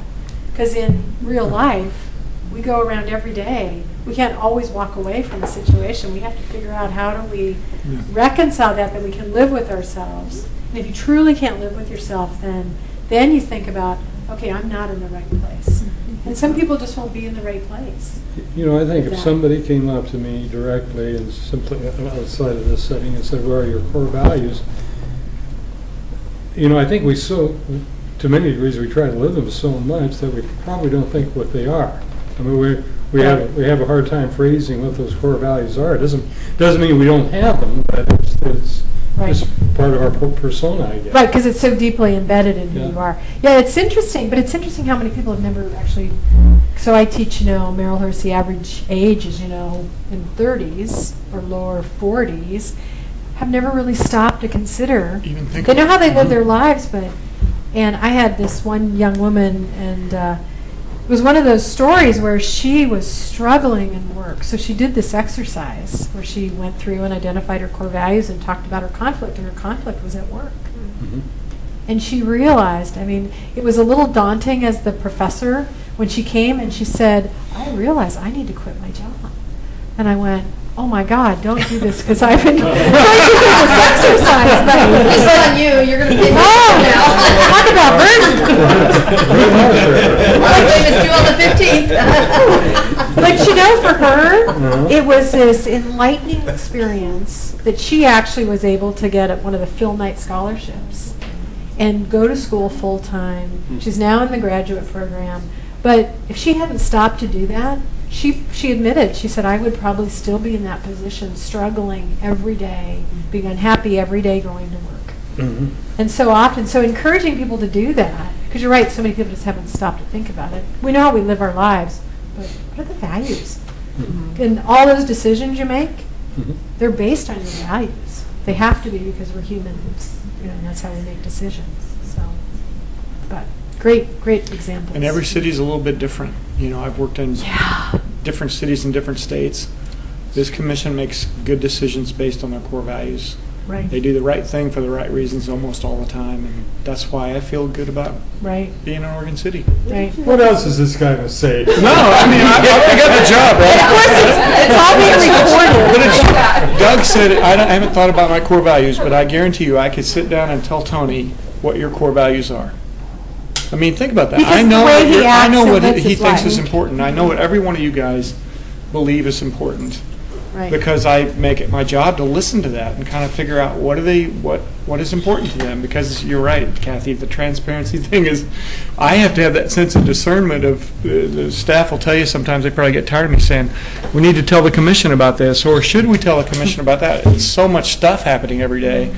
It's like, don't overwhelm us, but please tell us the stuff we need to know. Right, right.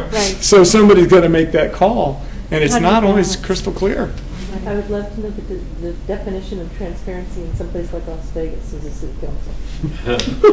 I'll bet it's- Look, look at their sign code. And as we talked about in the break, And look at Martha's Vineyard, those two sign codes, the one on Martha's Vineyard, no sign made of anything other than wood, can't be higher than two feet. Is it right or wrong? No, but it reflects the values of Martha's Vineyard. Right. You go to Las Vegas and look at their sign code, reflects their values. Right. And we're somewhere in between those, I think more toward Right. Martha's Vineyard. David, you raised a really good point, though, that when we were kind of looking at this um, presentation tonight, we thought, well, were there ethical issues out of Oregon City that we could use as an example? And we were really hard pressed to find them. I mean, we found West Linn, I knew about the embezzlement issue. But fortunately, we haven't been fraught, we as a We haven't been talking about community. the school district. Well, that's It's, it's always someone's With turn. leadership, and I think it goes down to, as you said, the ethics of the leadership. that we have. But see, that's why we're, we're doing this, n- so we don't have to just react. Right. I, I I think these guys have heard me say before, ethics is like doing dishes. You're never done. You're never really Right. finished. You Well- just have to clean the dishes that day. Well, like we said, it's that continuous process. Yes. I- I'm I'm gonna, actually, I'm use a school district in the West Linn as, as two, two opposites, so. We don't, we can't control what every individual staff member is going to do and so Absolutely, right. forth. But West Linn dropped its capability of evaluating If The mayor at the time says, we, we don't, we don't have to have an auditor. Right. And in that period of time, they didn't have an auditor, and that's when the embezzlement occurred. School district's a very different story. Yeah. I mean, they identified the problems. Right. And and so, just, just because you have a failure, whether it's a person on the council or Yeah. some staff person, that doesn't Right. really talk about the values of the institution itself. Well, and that's why, that's a good point, and that's why we put ethics questions into our hiring process and Mm-hmm. try to the best, they can still come up with the right answers. Frankly, some of our ethics questions, I've noticed, have been pretty easy, and some of them have been really difficult. But it's surprising to me as I watch some of the interviews, some people automatically get the right answer, and others go, well, and we're trying to hire people that are hardwired, kind of preordained to be ethical. Mm-hmm. It doesn't necessarily mean they won't make mistakes. They're gonna make mistakes because we've got 200 and some people in the organization, almost 200 people. We're gonna make mistakes. It was, it it was uh, Jim Mann's comment there, and it was reflecting something else he was talking to me about when they're going through the interview process for police officers. He says it's very difficult because you've got so many people coming in to their first job and so forth, and they see everything in black and white when they're interviewing them. And he gave a perfect example where, no, it's not that black and white. And, and, uh, uh, and you gotta build that perception in things aren't black and white. I mean, there are re- there are various reasons why people do various things, and Right. sometimes even if they're wrong, there's some level of reason why that happened. Yeah. Right. Yeah. I was gonna say that I don't, you know, I don't think ethics are just stealing people though, or stealing things. I, I think it's, you know, getting. Uh, there's places that where you hear about. Uh, uh, you hear a lot of it in Multnomah County. Uh, sick usage.